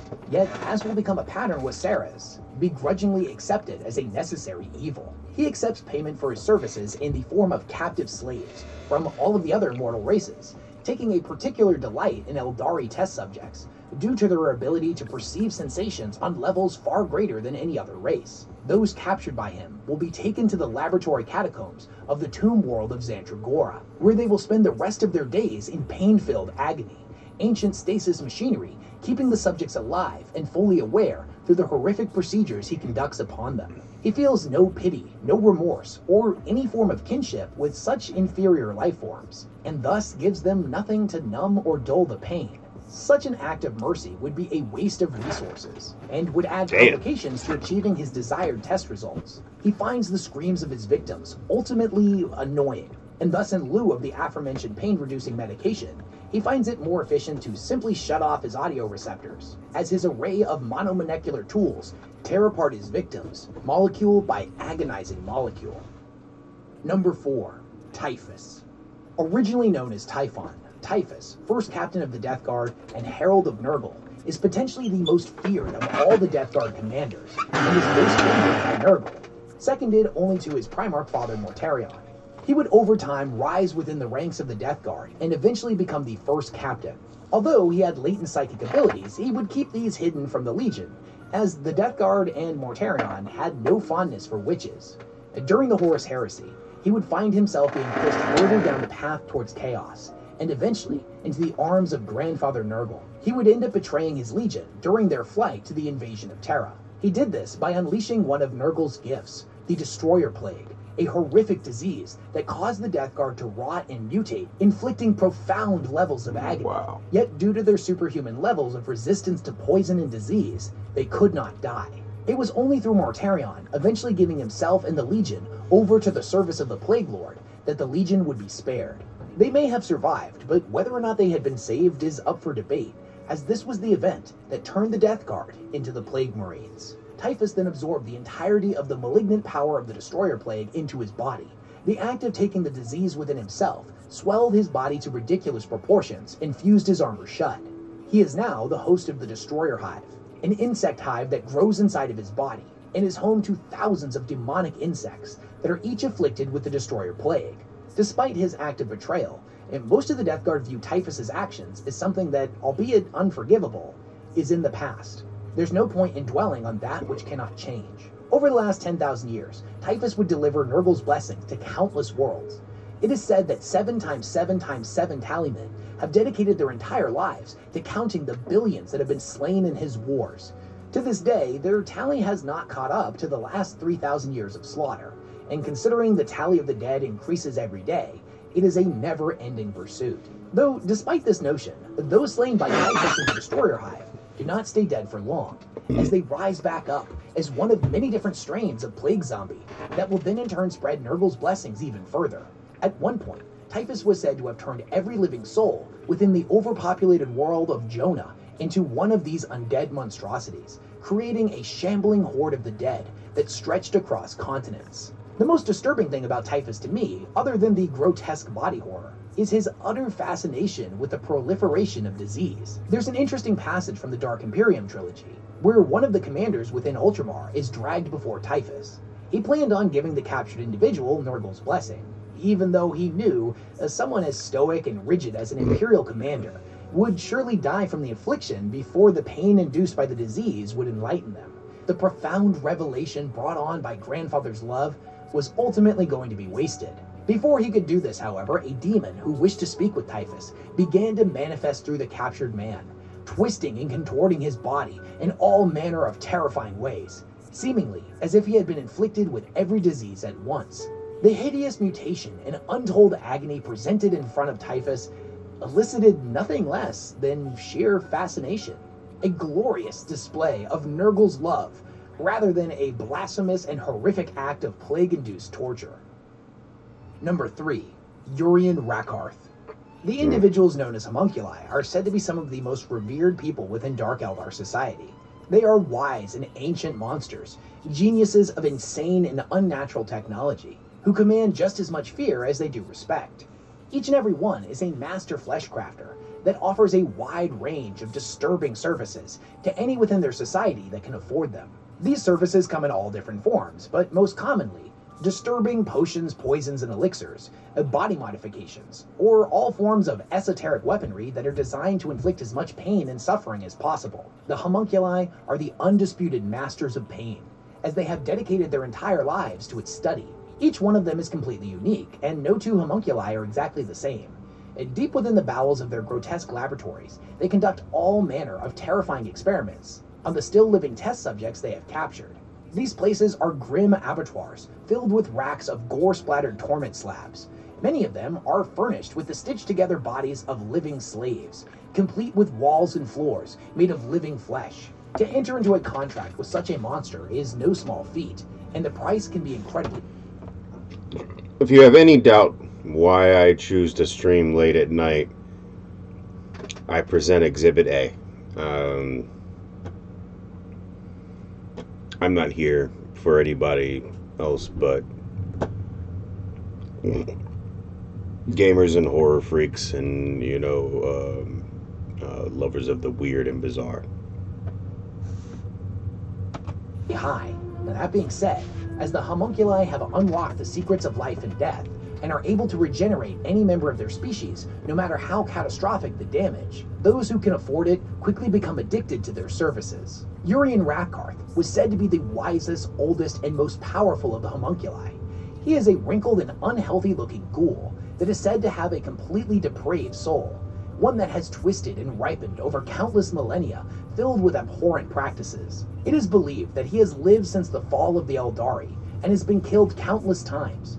Each time he crosses the veil into the immaterium, he gets another glimpse into the untold secrets of the universe, returning with a plethora of new profane knowledge with which to hone his craft. It's gotten to the point where he has died so many times that he actively looks forward to it, savoring each death like a fine wine. However, mysteriously, over the last several cycles of death and rebirth, his form has regrown, with a piece of his old body still intact, twisting in such a way that the outside now represents the true horror within his soul. Hmm. He is covered in grotesque limbs, some having been weaponized through his experiments, while other vestigial ones beckon all those in his presence into his embrace. The rumors insist these newfound mutations are due to a flaw in his practice, Eh, but the truth is they are by his own design. The Mad Prophet looks at his own body in the same way he looks at all of his victims, as a canvas to conduct his sickening art upon. He is the undisputed master of flesh crafting, gene splicing, and the brewing of ever more disturbing poisons. Recently, Rakarth and the Prophets of Flesh have begun a grand mission to capture living space marines from every Primaris chapter. He's fascinated by the degradation of the Emperor's original gene crafting work over the millennia. For what dark purpose he seeks this information still remains unanswered. Number 2. Fabius Bile. Over This the guy. years, Fabius Bile has gone by many names. The Primogenitor, the Clone Father or Clone Lord, the Manflayer, and perhaps most famously, the Spider. A derogatory name the other Emperor's children called him due to the whirling system of mechanical limbs upon his back known as the Chirurgeon. Bile is a blight upon the galaxy, and one of the most deranged, nightmarish figures to have ever haunted the physical universe. He is a twisted yet ingenious molder of flesh and sculptor of ever more nightmarish biogolems. And he literally wears a cloak of human skin if you needed any further indication of just how disturbed he is. Originally one of the Emperor's children's apothecaries during the Great Crusade, it was Bile's ingenious and disturbing personal search for perfection through surgical augmentation that gave rise to the many deranged upgrades that would come to infect the Legion. He did this through a complex web of terrifying surgeries and cocktails of synthesized chemicals that allowed each legionary to experience sensations to ever more extreme heights. Yet despite his ever-increasing escalation of more ingenious creations, Bile never actually subjected himself to any of these procedures. Instead, every hmm. surgery, every new invention, every act of torture and dissection were simply stepping stones towards the mastery of life and death. A journey that would one day lead him to the dark city of Commorragh, where he earned the prestigious honor of being the only human to ever study under the homunculi covens. Other than the skin cloak, I feel like Hmm. the fact that the Dark Eldar took one look at this guy and were like, yep, I like the cut of his jib should speak to the levels of Right? gravity that old Fabulous Bill had sunk to. After the Horus Yeah. Fabius departed his legion and set off on his own to hone his craft, becoming a renegade amongst renegades. It is said that he moved through the Imperium like a shard of glass through an intestinal tract, offering to sell his services and creations to any rebel warlords that could afford it. His payment would come in the form of prisoners, genetic samples, and ancient technology. He would eventually set up shop within the Eye of Terror on a fallen Eldari planet, wherein, over time, the world would become a flesh factorum of crawling madness. Many other renegade apothecaries from various traitor legions would come to this world in order to study under the Clone Father, thus building his reputation and power. It's kind of like a Doctors Without Borders thing, except way more horrifying. Any planet that has been blighted by the Clone Lord's presence can speak great volumes of his dark efficiency.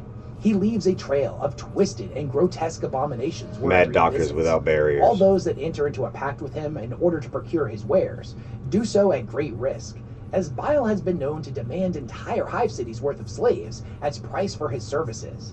And even then, it's not unheard of for him to unleash the bioweapons and grotesque monstrosities the bargaining party had requested upon their population simply to observe their efficiency. Despite his untrustworthy nature, the other traitor legions greatly respect the efficiency of his creations, whether or not they respect the spider himself. This is a man who has such mastery over cloning that he was able to make clones of all of the Primarchs to various degrees, including his masterwork, a perfect clone of the Primarch Fulgrim, an entity that retained all of the original's memories, and, if the rumors are to be believed, a copy of the Primarch's soul as well. In recent years, Bile has become obsessed with his goal of replacing the human race with a new, even more perfect species of his own creation that he refers to as the New Men. He views the human race as flawed, a species that is ultimately destined for the halls of extinction. Thus, he has spread his creations throughout human society, and one day they will rise up to overthrow them and replace humanity as the masters of the galaxy. Number one, Konrad Curze. Hmm. If you know anything about the Night Lords, you know that they are probably the most horrific of all Space Marine legions. They are blood crazed psychopaths that prey upon the weak, utilizing fear as their most potent weapon and striking at the enemy's most vulnerable positions. The Night Lords do not choose to engage their enemies in honorable combat on the front lines, instead, striking behind their defenses to massacre civilians and destroy their points of industry. When these dudes would go to take a world, they would admittedly do it with less bloodshed or warfare than any other legion during the Great Crusade. But the way in which they did this was by torturing a small handful of individuals and then stringing up their corpses for the entire world to see. They would then project images of the grisly display across the entire system, sending the message loud and clear that if you didn't want this to happen to you and those you love, you would bend a knee to the Night Lords immediately. None embody their twisted philosophies more than their Primarch Konrad Curze, a man who was constantly tormented by visions of the future. These visions imbued him with a profound sense of paranoia and a nihilistic outlook on the nature of humanity. He saw human beings as nothing more than livestock, beasts of burden that needed to be corralled into obedience through fear and pain. This is the philosophy he utilized to conquer his homeworld of Nostramo. When he was young, he adopted the title of Night Haunter and systematically butchered the criminals that plagued his gang infested world.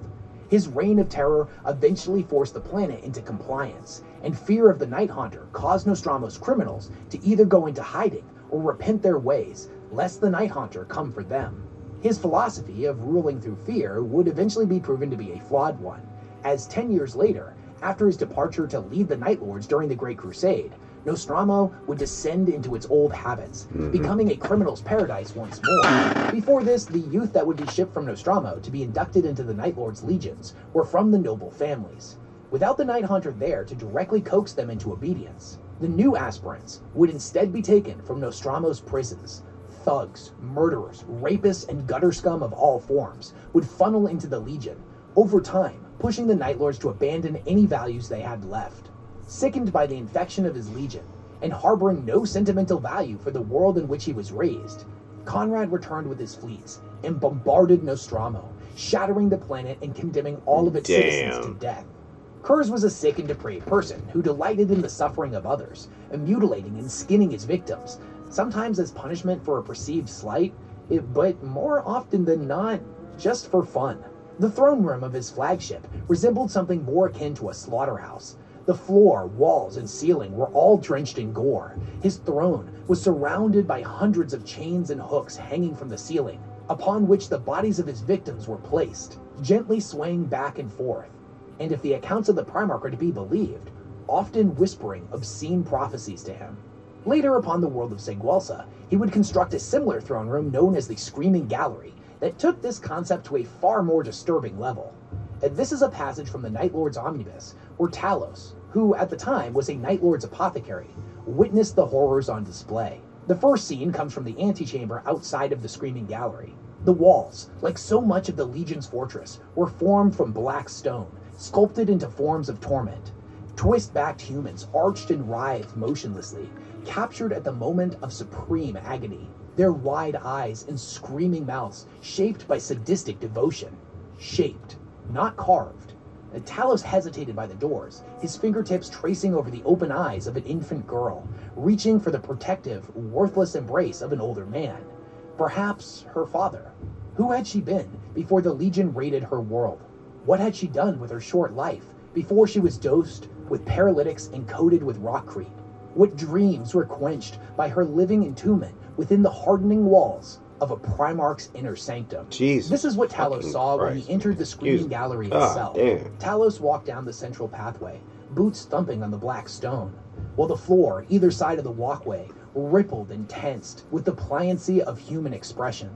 Eyes, noses, teeth, and tongues poking from open mouths. The ground itself was a carpet of faces, flesh crafted together, kept alive by grotesque Baroque blood filters and organ simulator engines beneath the floor. As an apothecary, Talos knew the machinery well.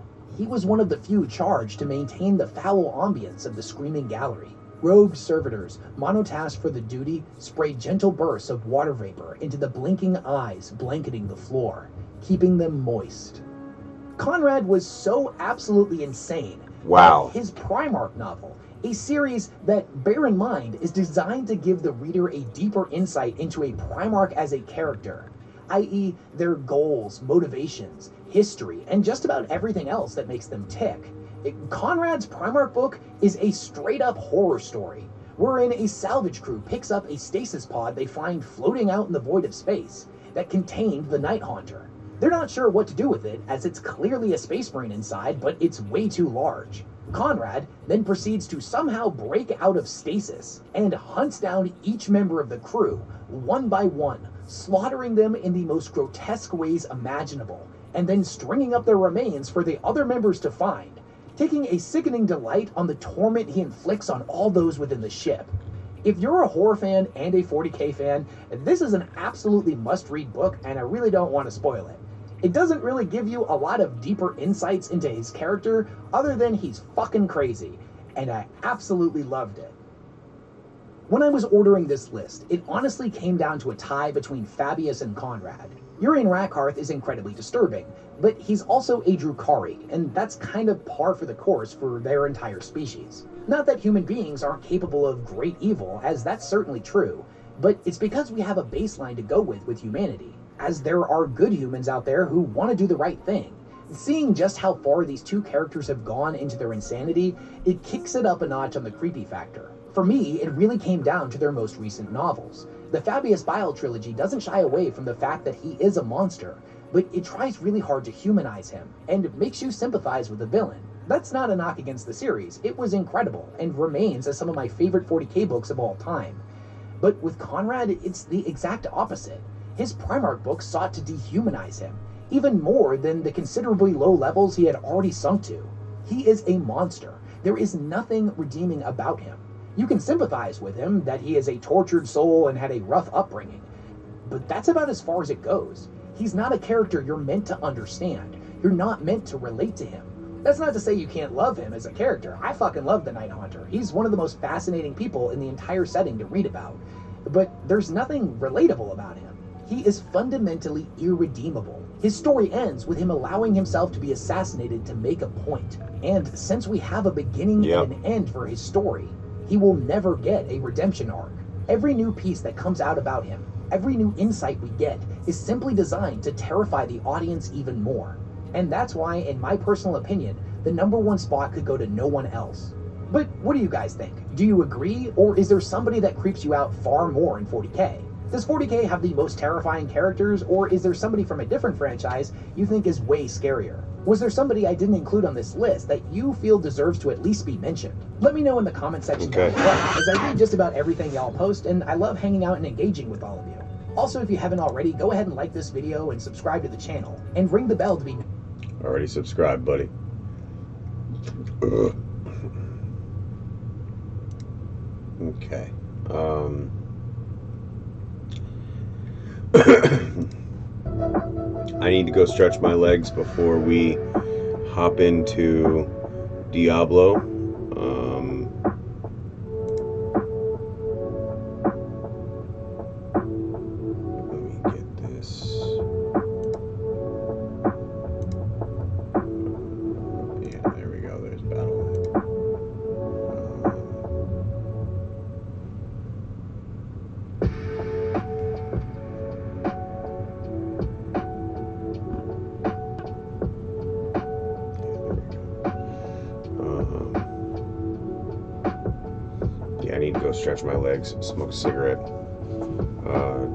go anywhere. Well, unless you want to grab something to drink, something to eat, uh, prep something to smoke, because uh, we are about to. um, we're about to jump on Diablo. I'll be right back.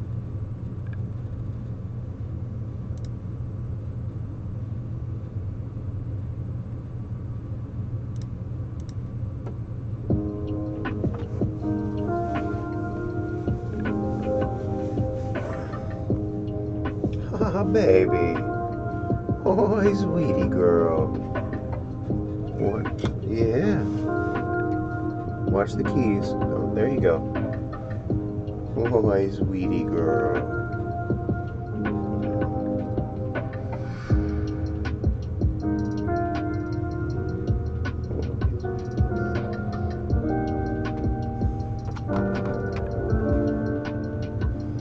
Yeah, if you wanna, if you guys wanna say hi, there's uh, Miss Khaleesi. Say hi, Miss Khaleesi. Oh, she's getting ready to jump. Uh, Oh, there, there we go.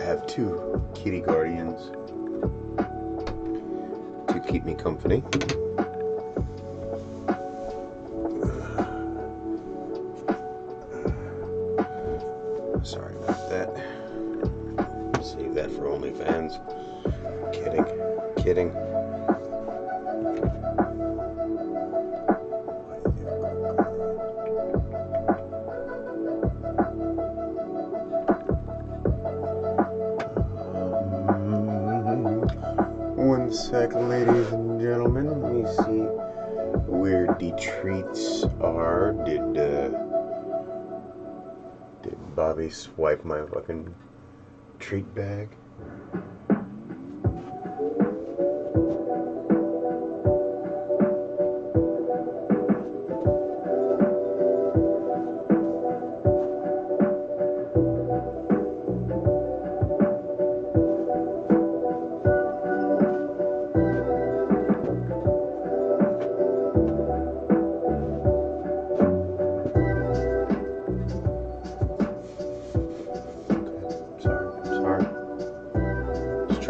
treat bag.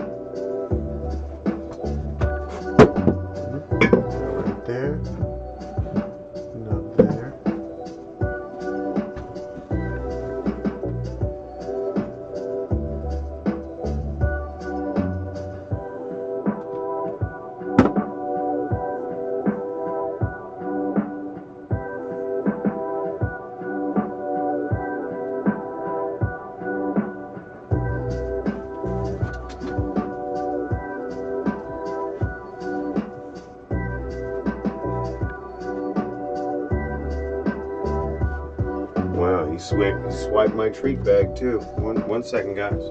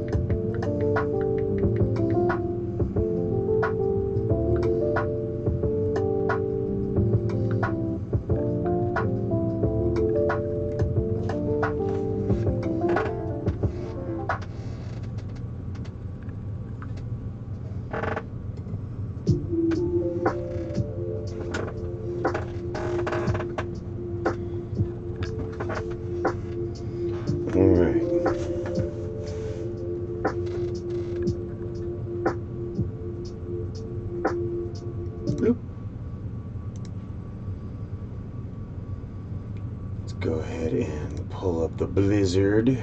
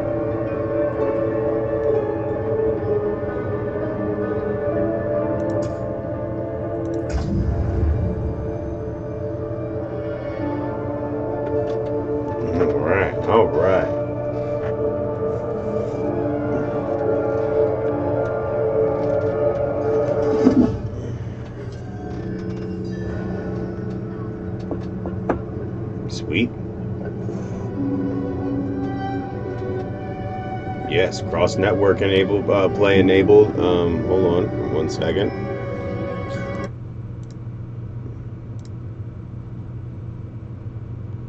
and take the TV room off. There we go. Oh, uh, uh, uh. all right. Uh, little laggy uh, this evening or this morning. I'm not ready yet. Oh, I'm not ready yet.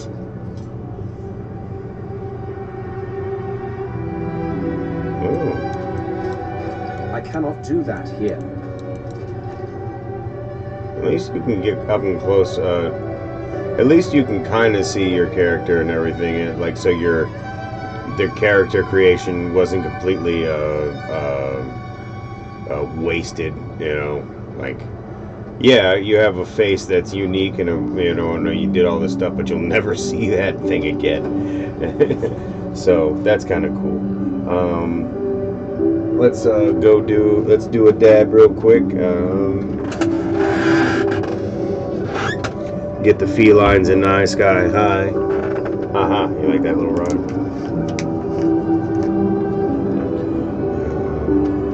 Got a new dab in there.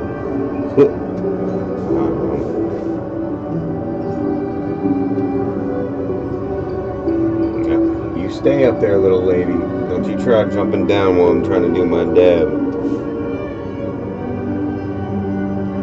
Hope everybody's doing okay tonight. I hope your week was okay. Um, mine wasn't terrible, but it wasn't, you know, great either. Um, I'm hoping, uh, well, I'm gonna sleep today. I like I'm not trying to do anything except for uh, enjoy this last day of beta. Um, I'm gonna play for a few hours here, and then I'm gonna get some sleep. And then when I get up, I'll hop back on for the last uh, full day of uh, beta play while um, the masses are on.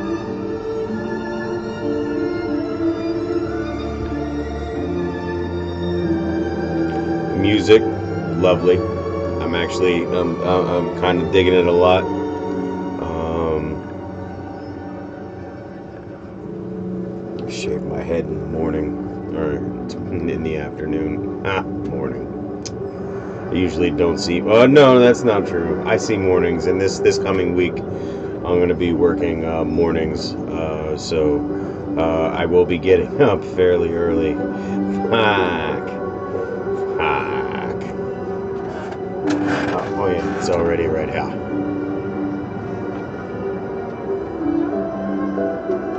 Um, I don't know if anybody else caught it today, but uh, Domino's was running a special, um, like 50% off any of their pizzas. So uh, I got like the works or something, or like uh, like one of those ones that had everything on it, uh, like all the meats and uh, plus peppers and onions and mushrooms and green peppers uh, and and uh, jalapenos, uh, which were extra but worth it, totally worth it.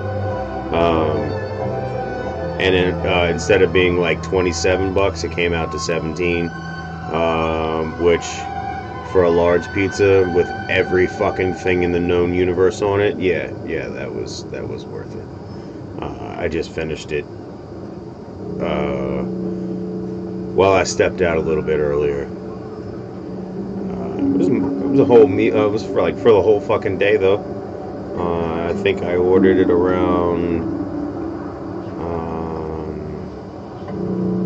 three or four, and uh, it lasted me until two thirty, three o'clock in the morning. Not bad.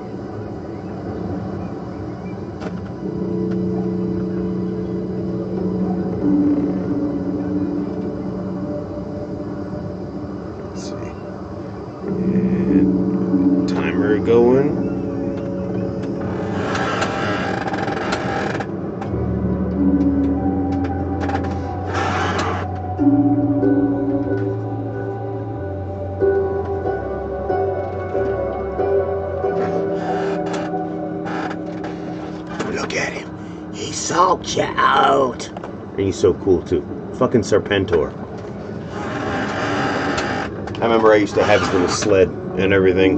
Um, I always thought, uh, I always wished it looked cooler, but it was still his uh, flying platform and everything, so it was cool.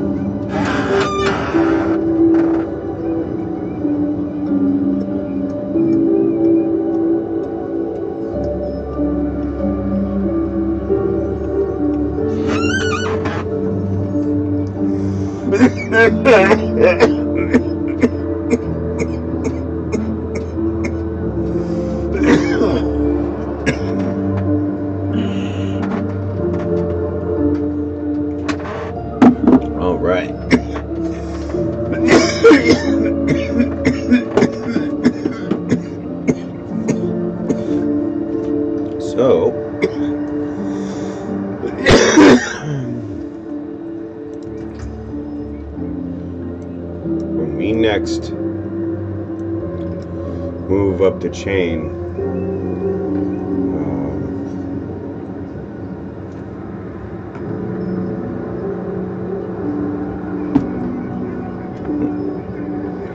um, we actually need to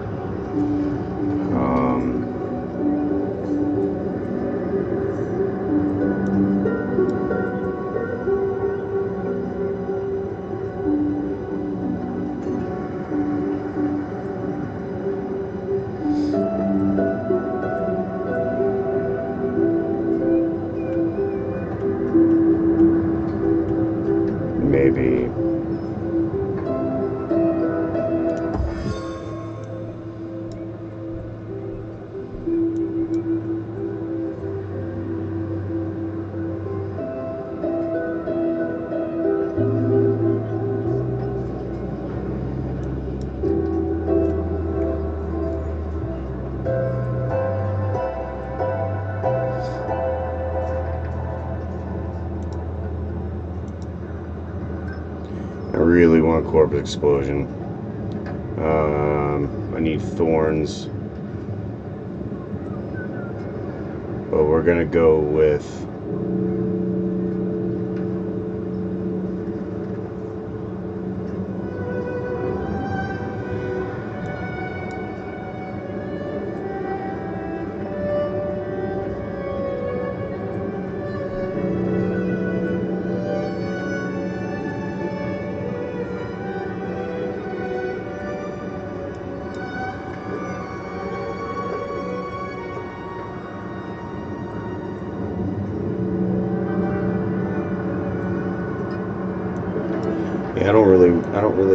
about any of those either. Um, except for maybe Lucky Hit. But I'm too, okay, so, um, I guess I have to go with Blood Mist for now. Um,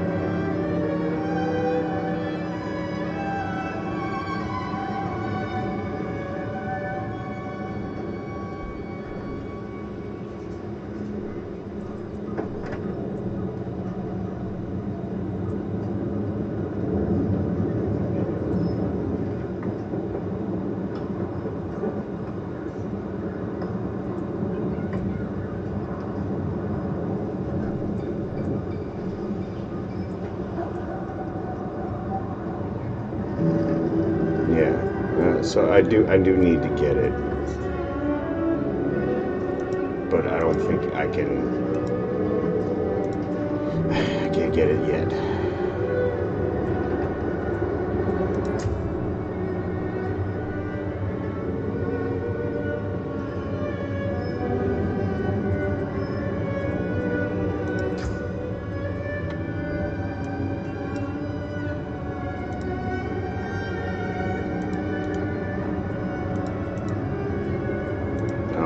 think I can yet. Okay. So we're gonna go ahead and do that. Oh, now it's now it's ready to. Okay. All right. So.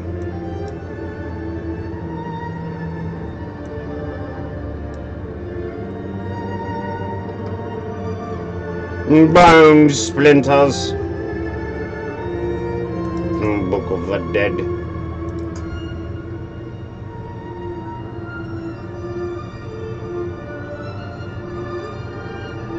Think I'll stay with the skirmishers though.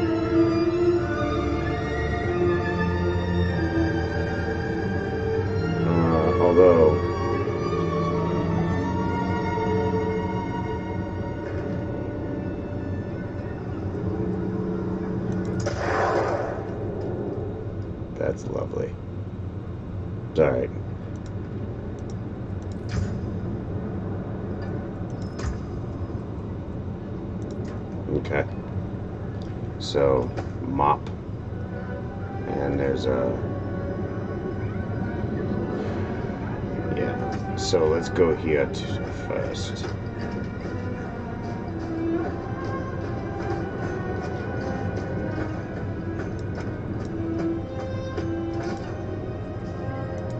The new militia recruits have been training night and day. They deserve a little praise. But I can't let them see me as soft. Mind giving them a cheer for me? Easy coin for you, a boost of confidence for the recruits, and I get to go on being the hard ass. Everybody wins. I'll handle it. I think this was a. I think this was one of a, a quest in uh, um, Immortal. So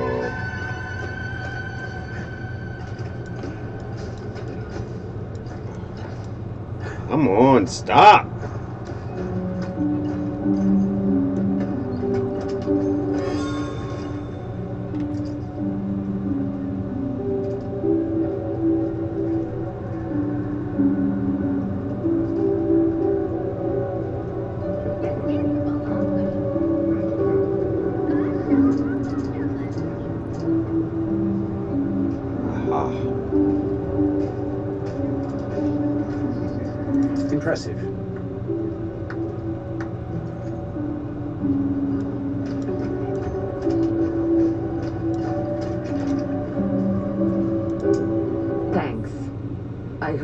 Get used to it.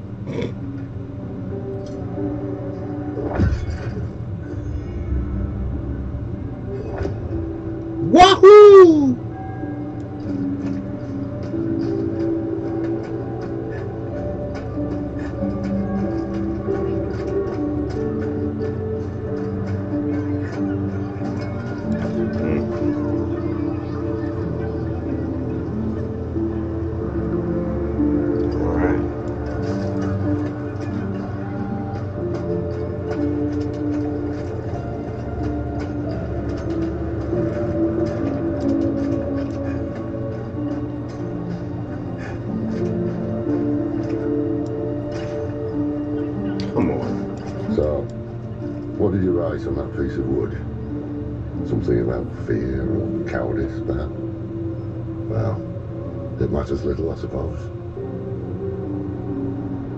Hmm. I'm off to the Dry Steppes in search of that pale man from your vision. I must know what part he plays in all this.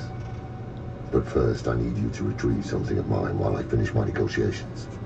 A merchant in the center of the city has it. Just tell him I sent you.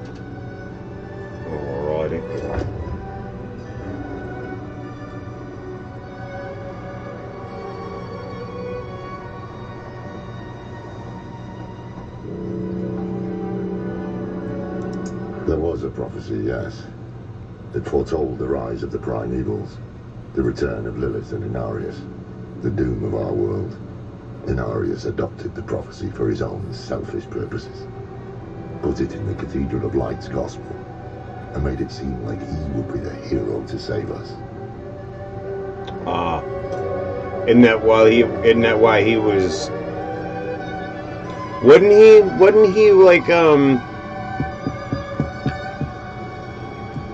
remember there was an angel that was cast down into hell. I think it was in Diablo 2. And he was turned into one of those um I think it was a, a, a pit fiend or uh, or something or a taskmaster or something like that uh, uh, for his vanity. Um, wasn't that this? Wasn't that Anarius?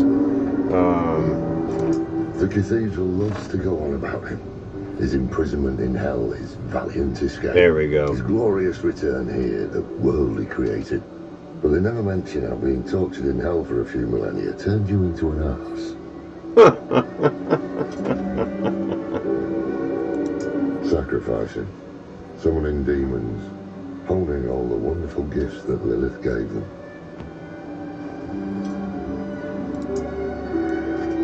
Cracked hooves, sway back, cloudy eyes.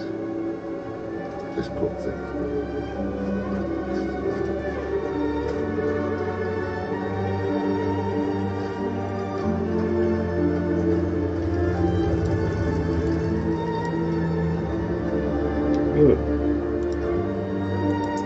Ah, so the old man's finally decided to buy it back. Knowing him, he didn't mention coin, did he? Of course If he wants his weapon, you will need to pay. Alrighty. I, I, I believe.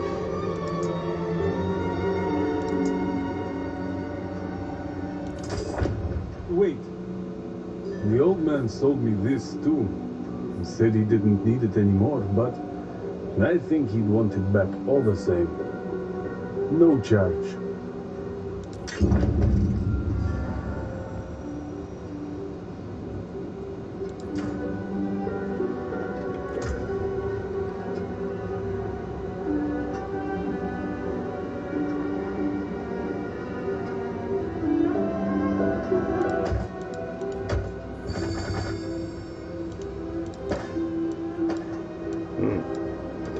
That's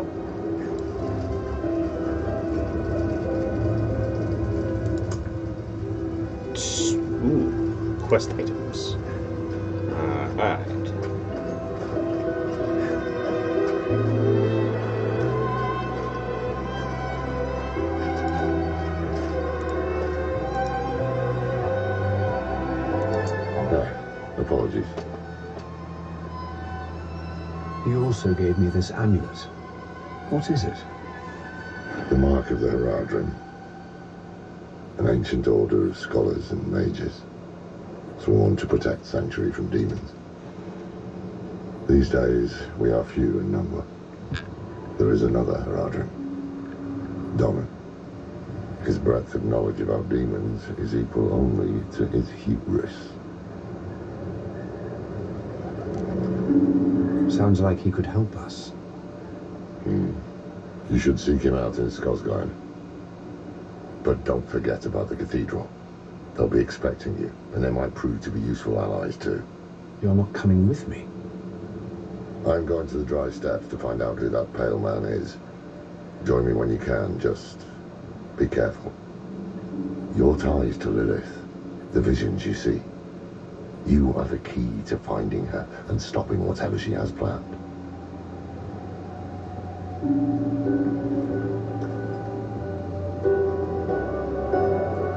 Sometimes our paths in life are set to collide.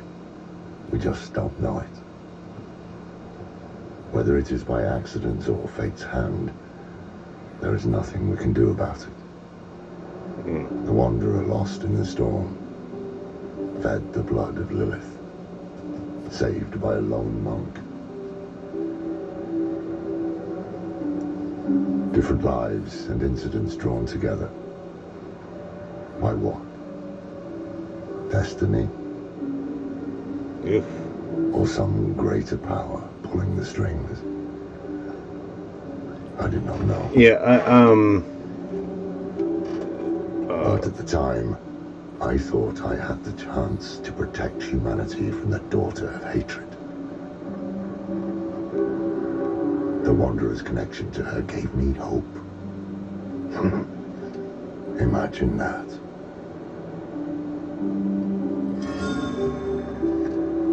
Okay. I, um. I need to optimize this game real quick. Uh, Nvidia just did did just. Yes, yes. I will pre-purchase. I will.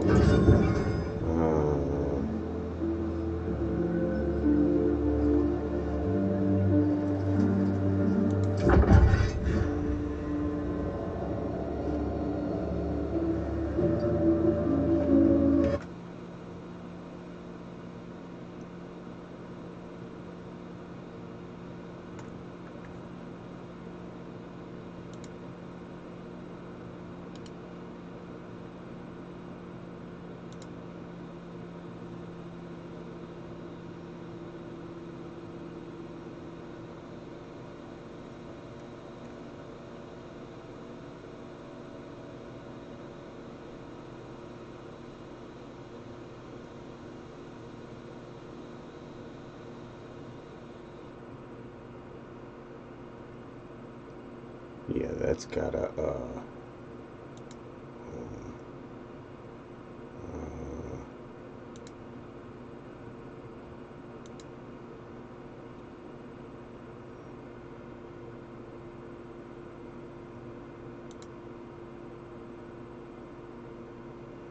I want to see if I can optimize um the game. Um, yeah, games. Uh, Uh, okay, so it automatically should. Okay.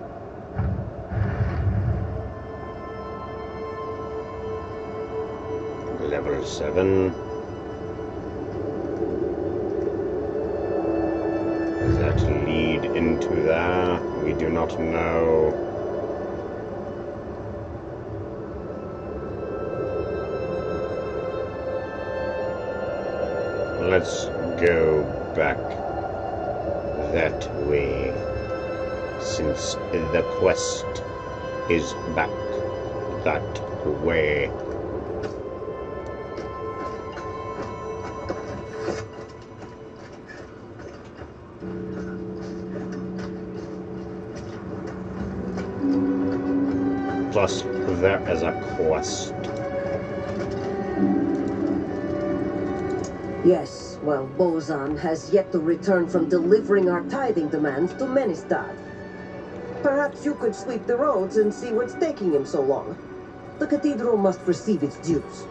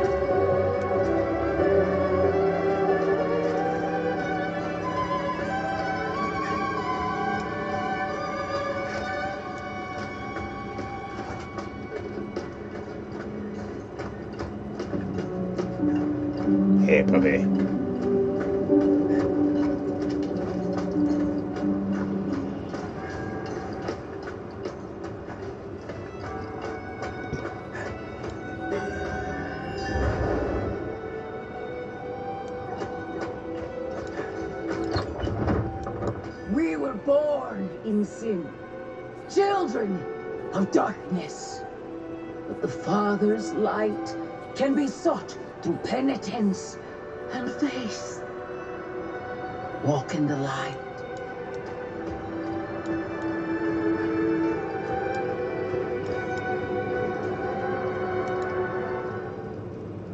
We must be ever vigilant against sin, brother. Oh, I remember her from the trailer. Let the light of Inarius burn away wickedness. Let not temptation lead you from his holy radiance.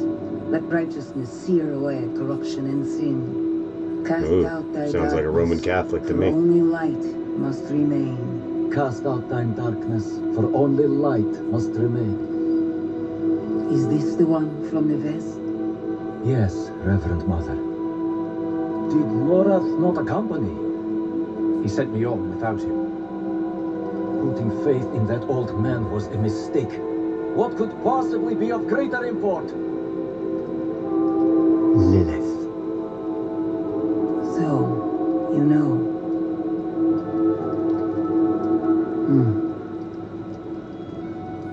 Received word from one of our knights of a demon sighting in Gale Valley. The description matches too closely the sighting in the west. If you would travel to Yelesna and take stock of events there, we would have the gratitude of the Cathedral of Light. I had thought to send Lorath, But again, he fails in his duty. Will He does not. Lorath, The will of Inarius shall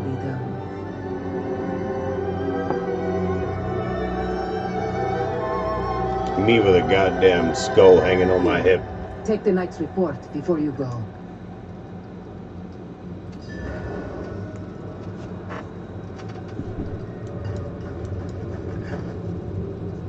Reverend Mother, I received a report of a potential demon sighting. Horned woman near Yelesna Mines. Performed routine inspection, nothing yet. Sent in priest and escort of knights.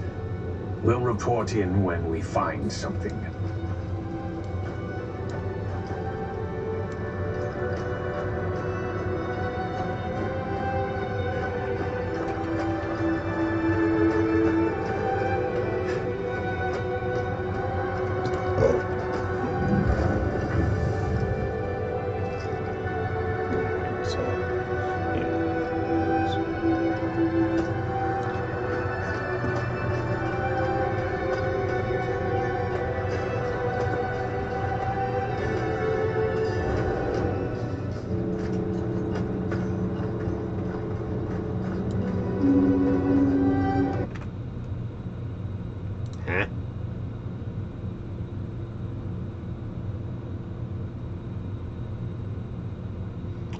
¿Por qué, Dios mío? ¿Por qué?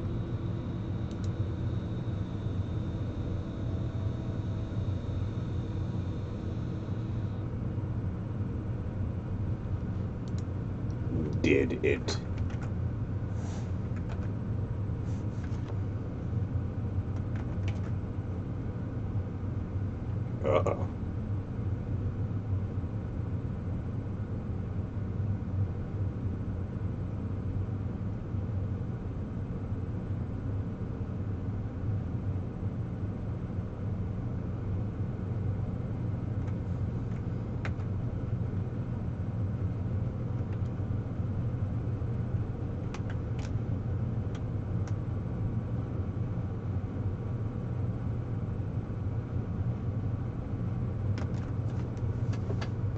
Shit.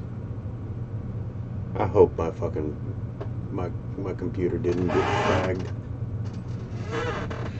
Oh shit. Um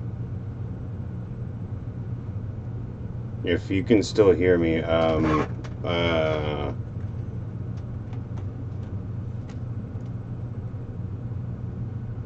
I think I'm gonna have to restart my computer.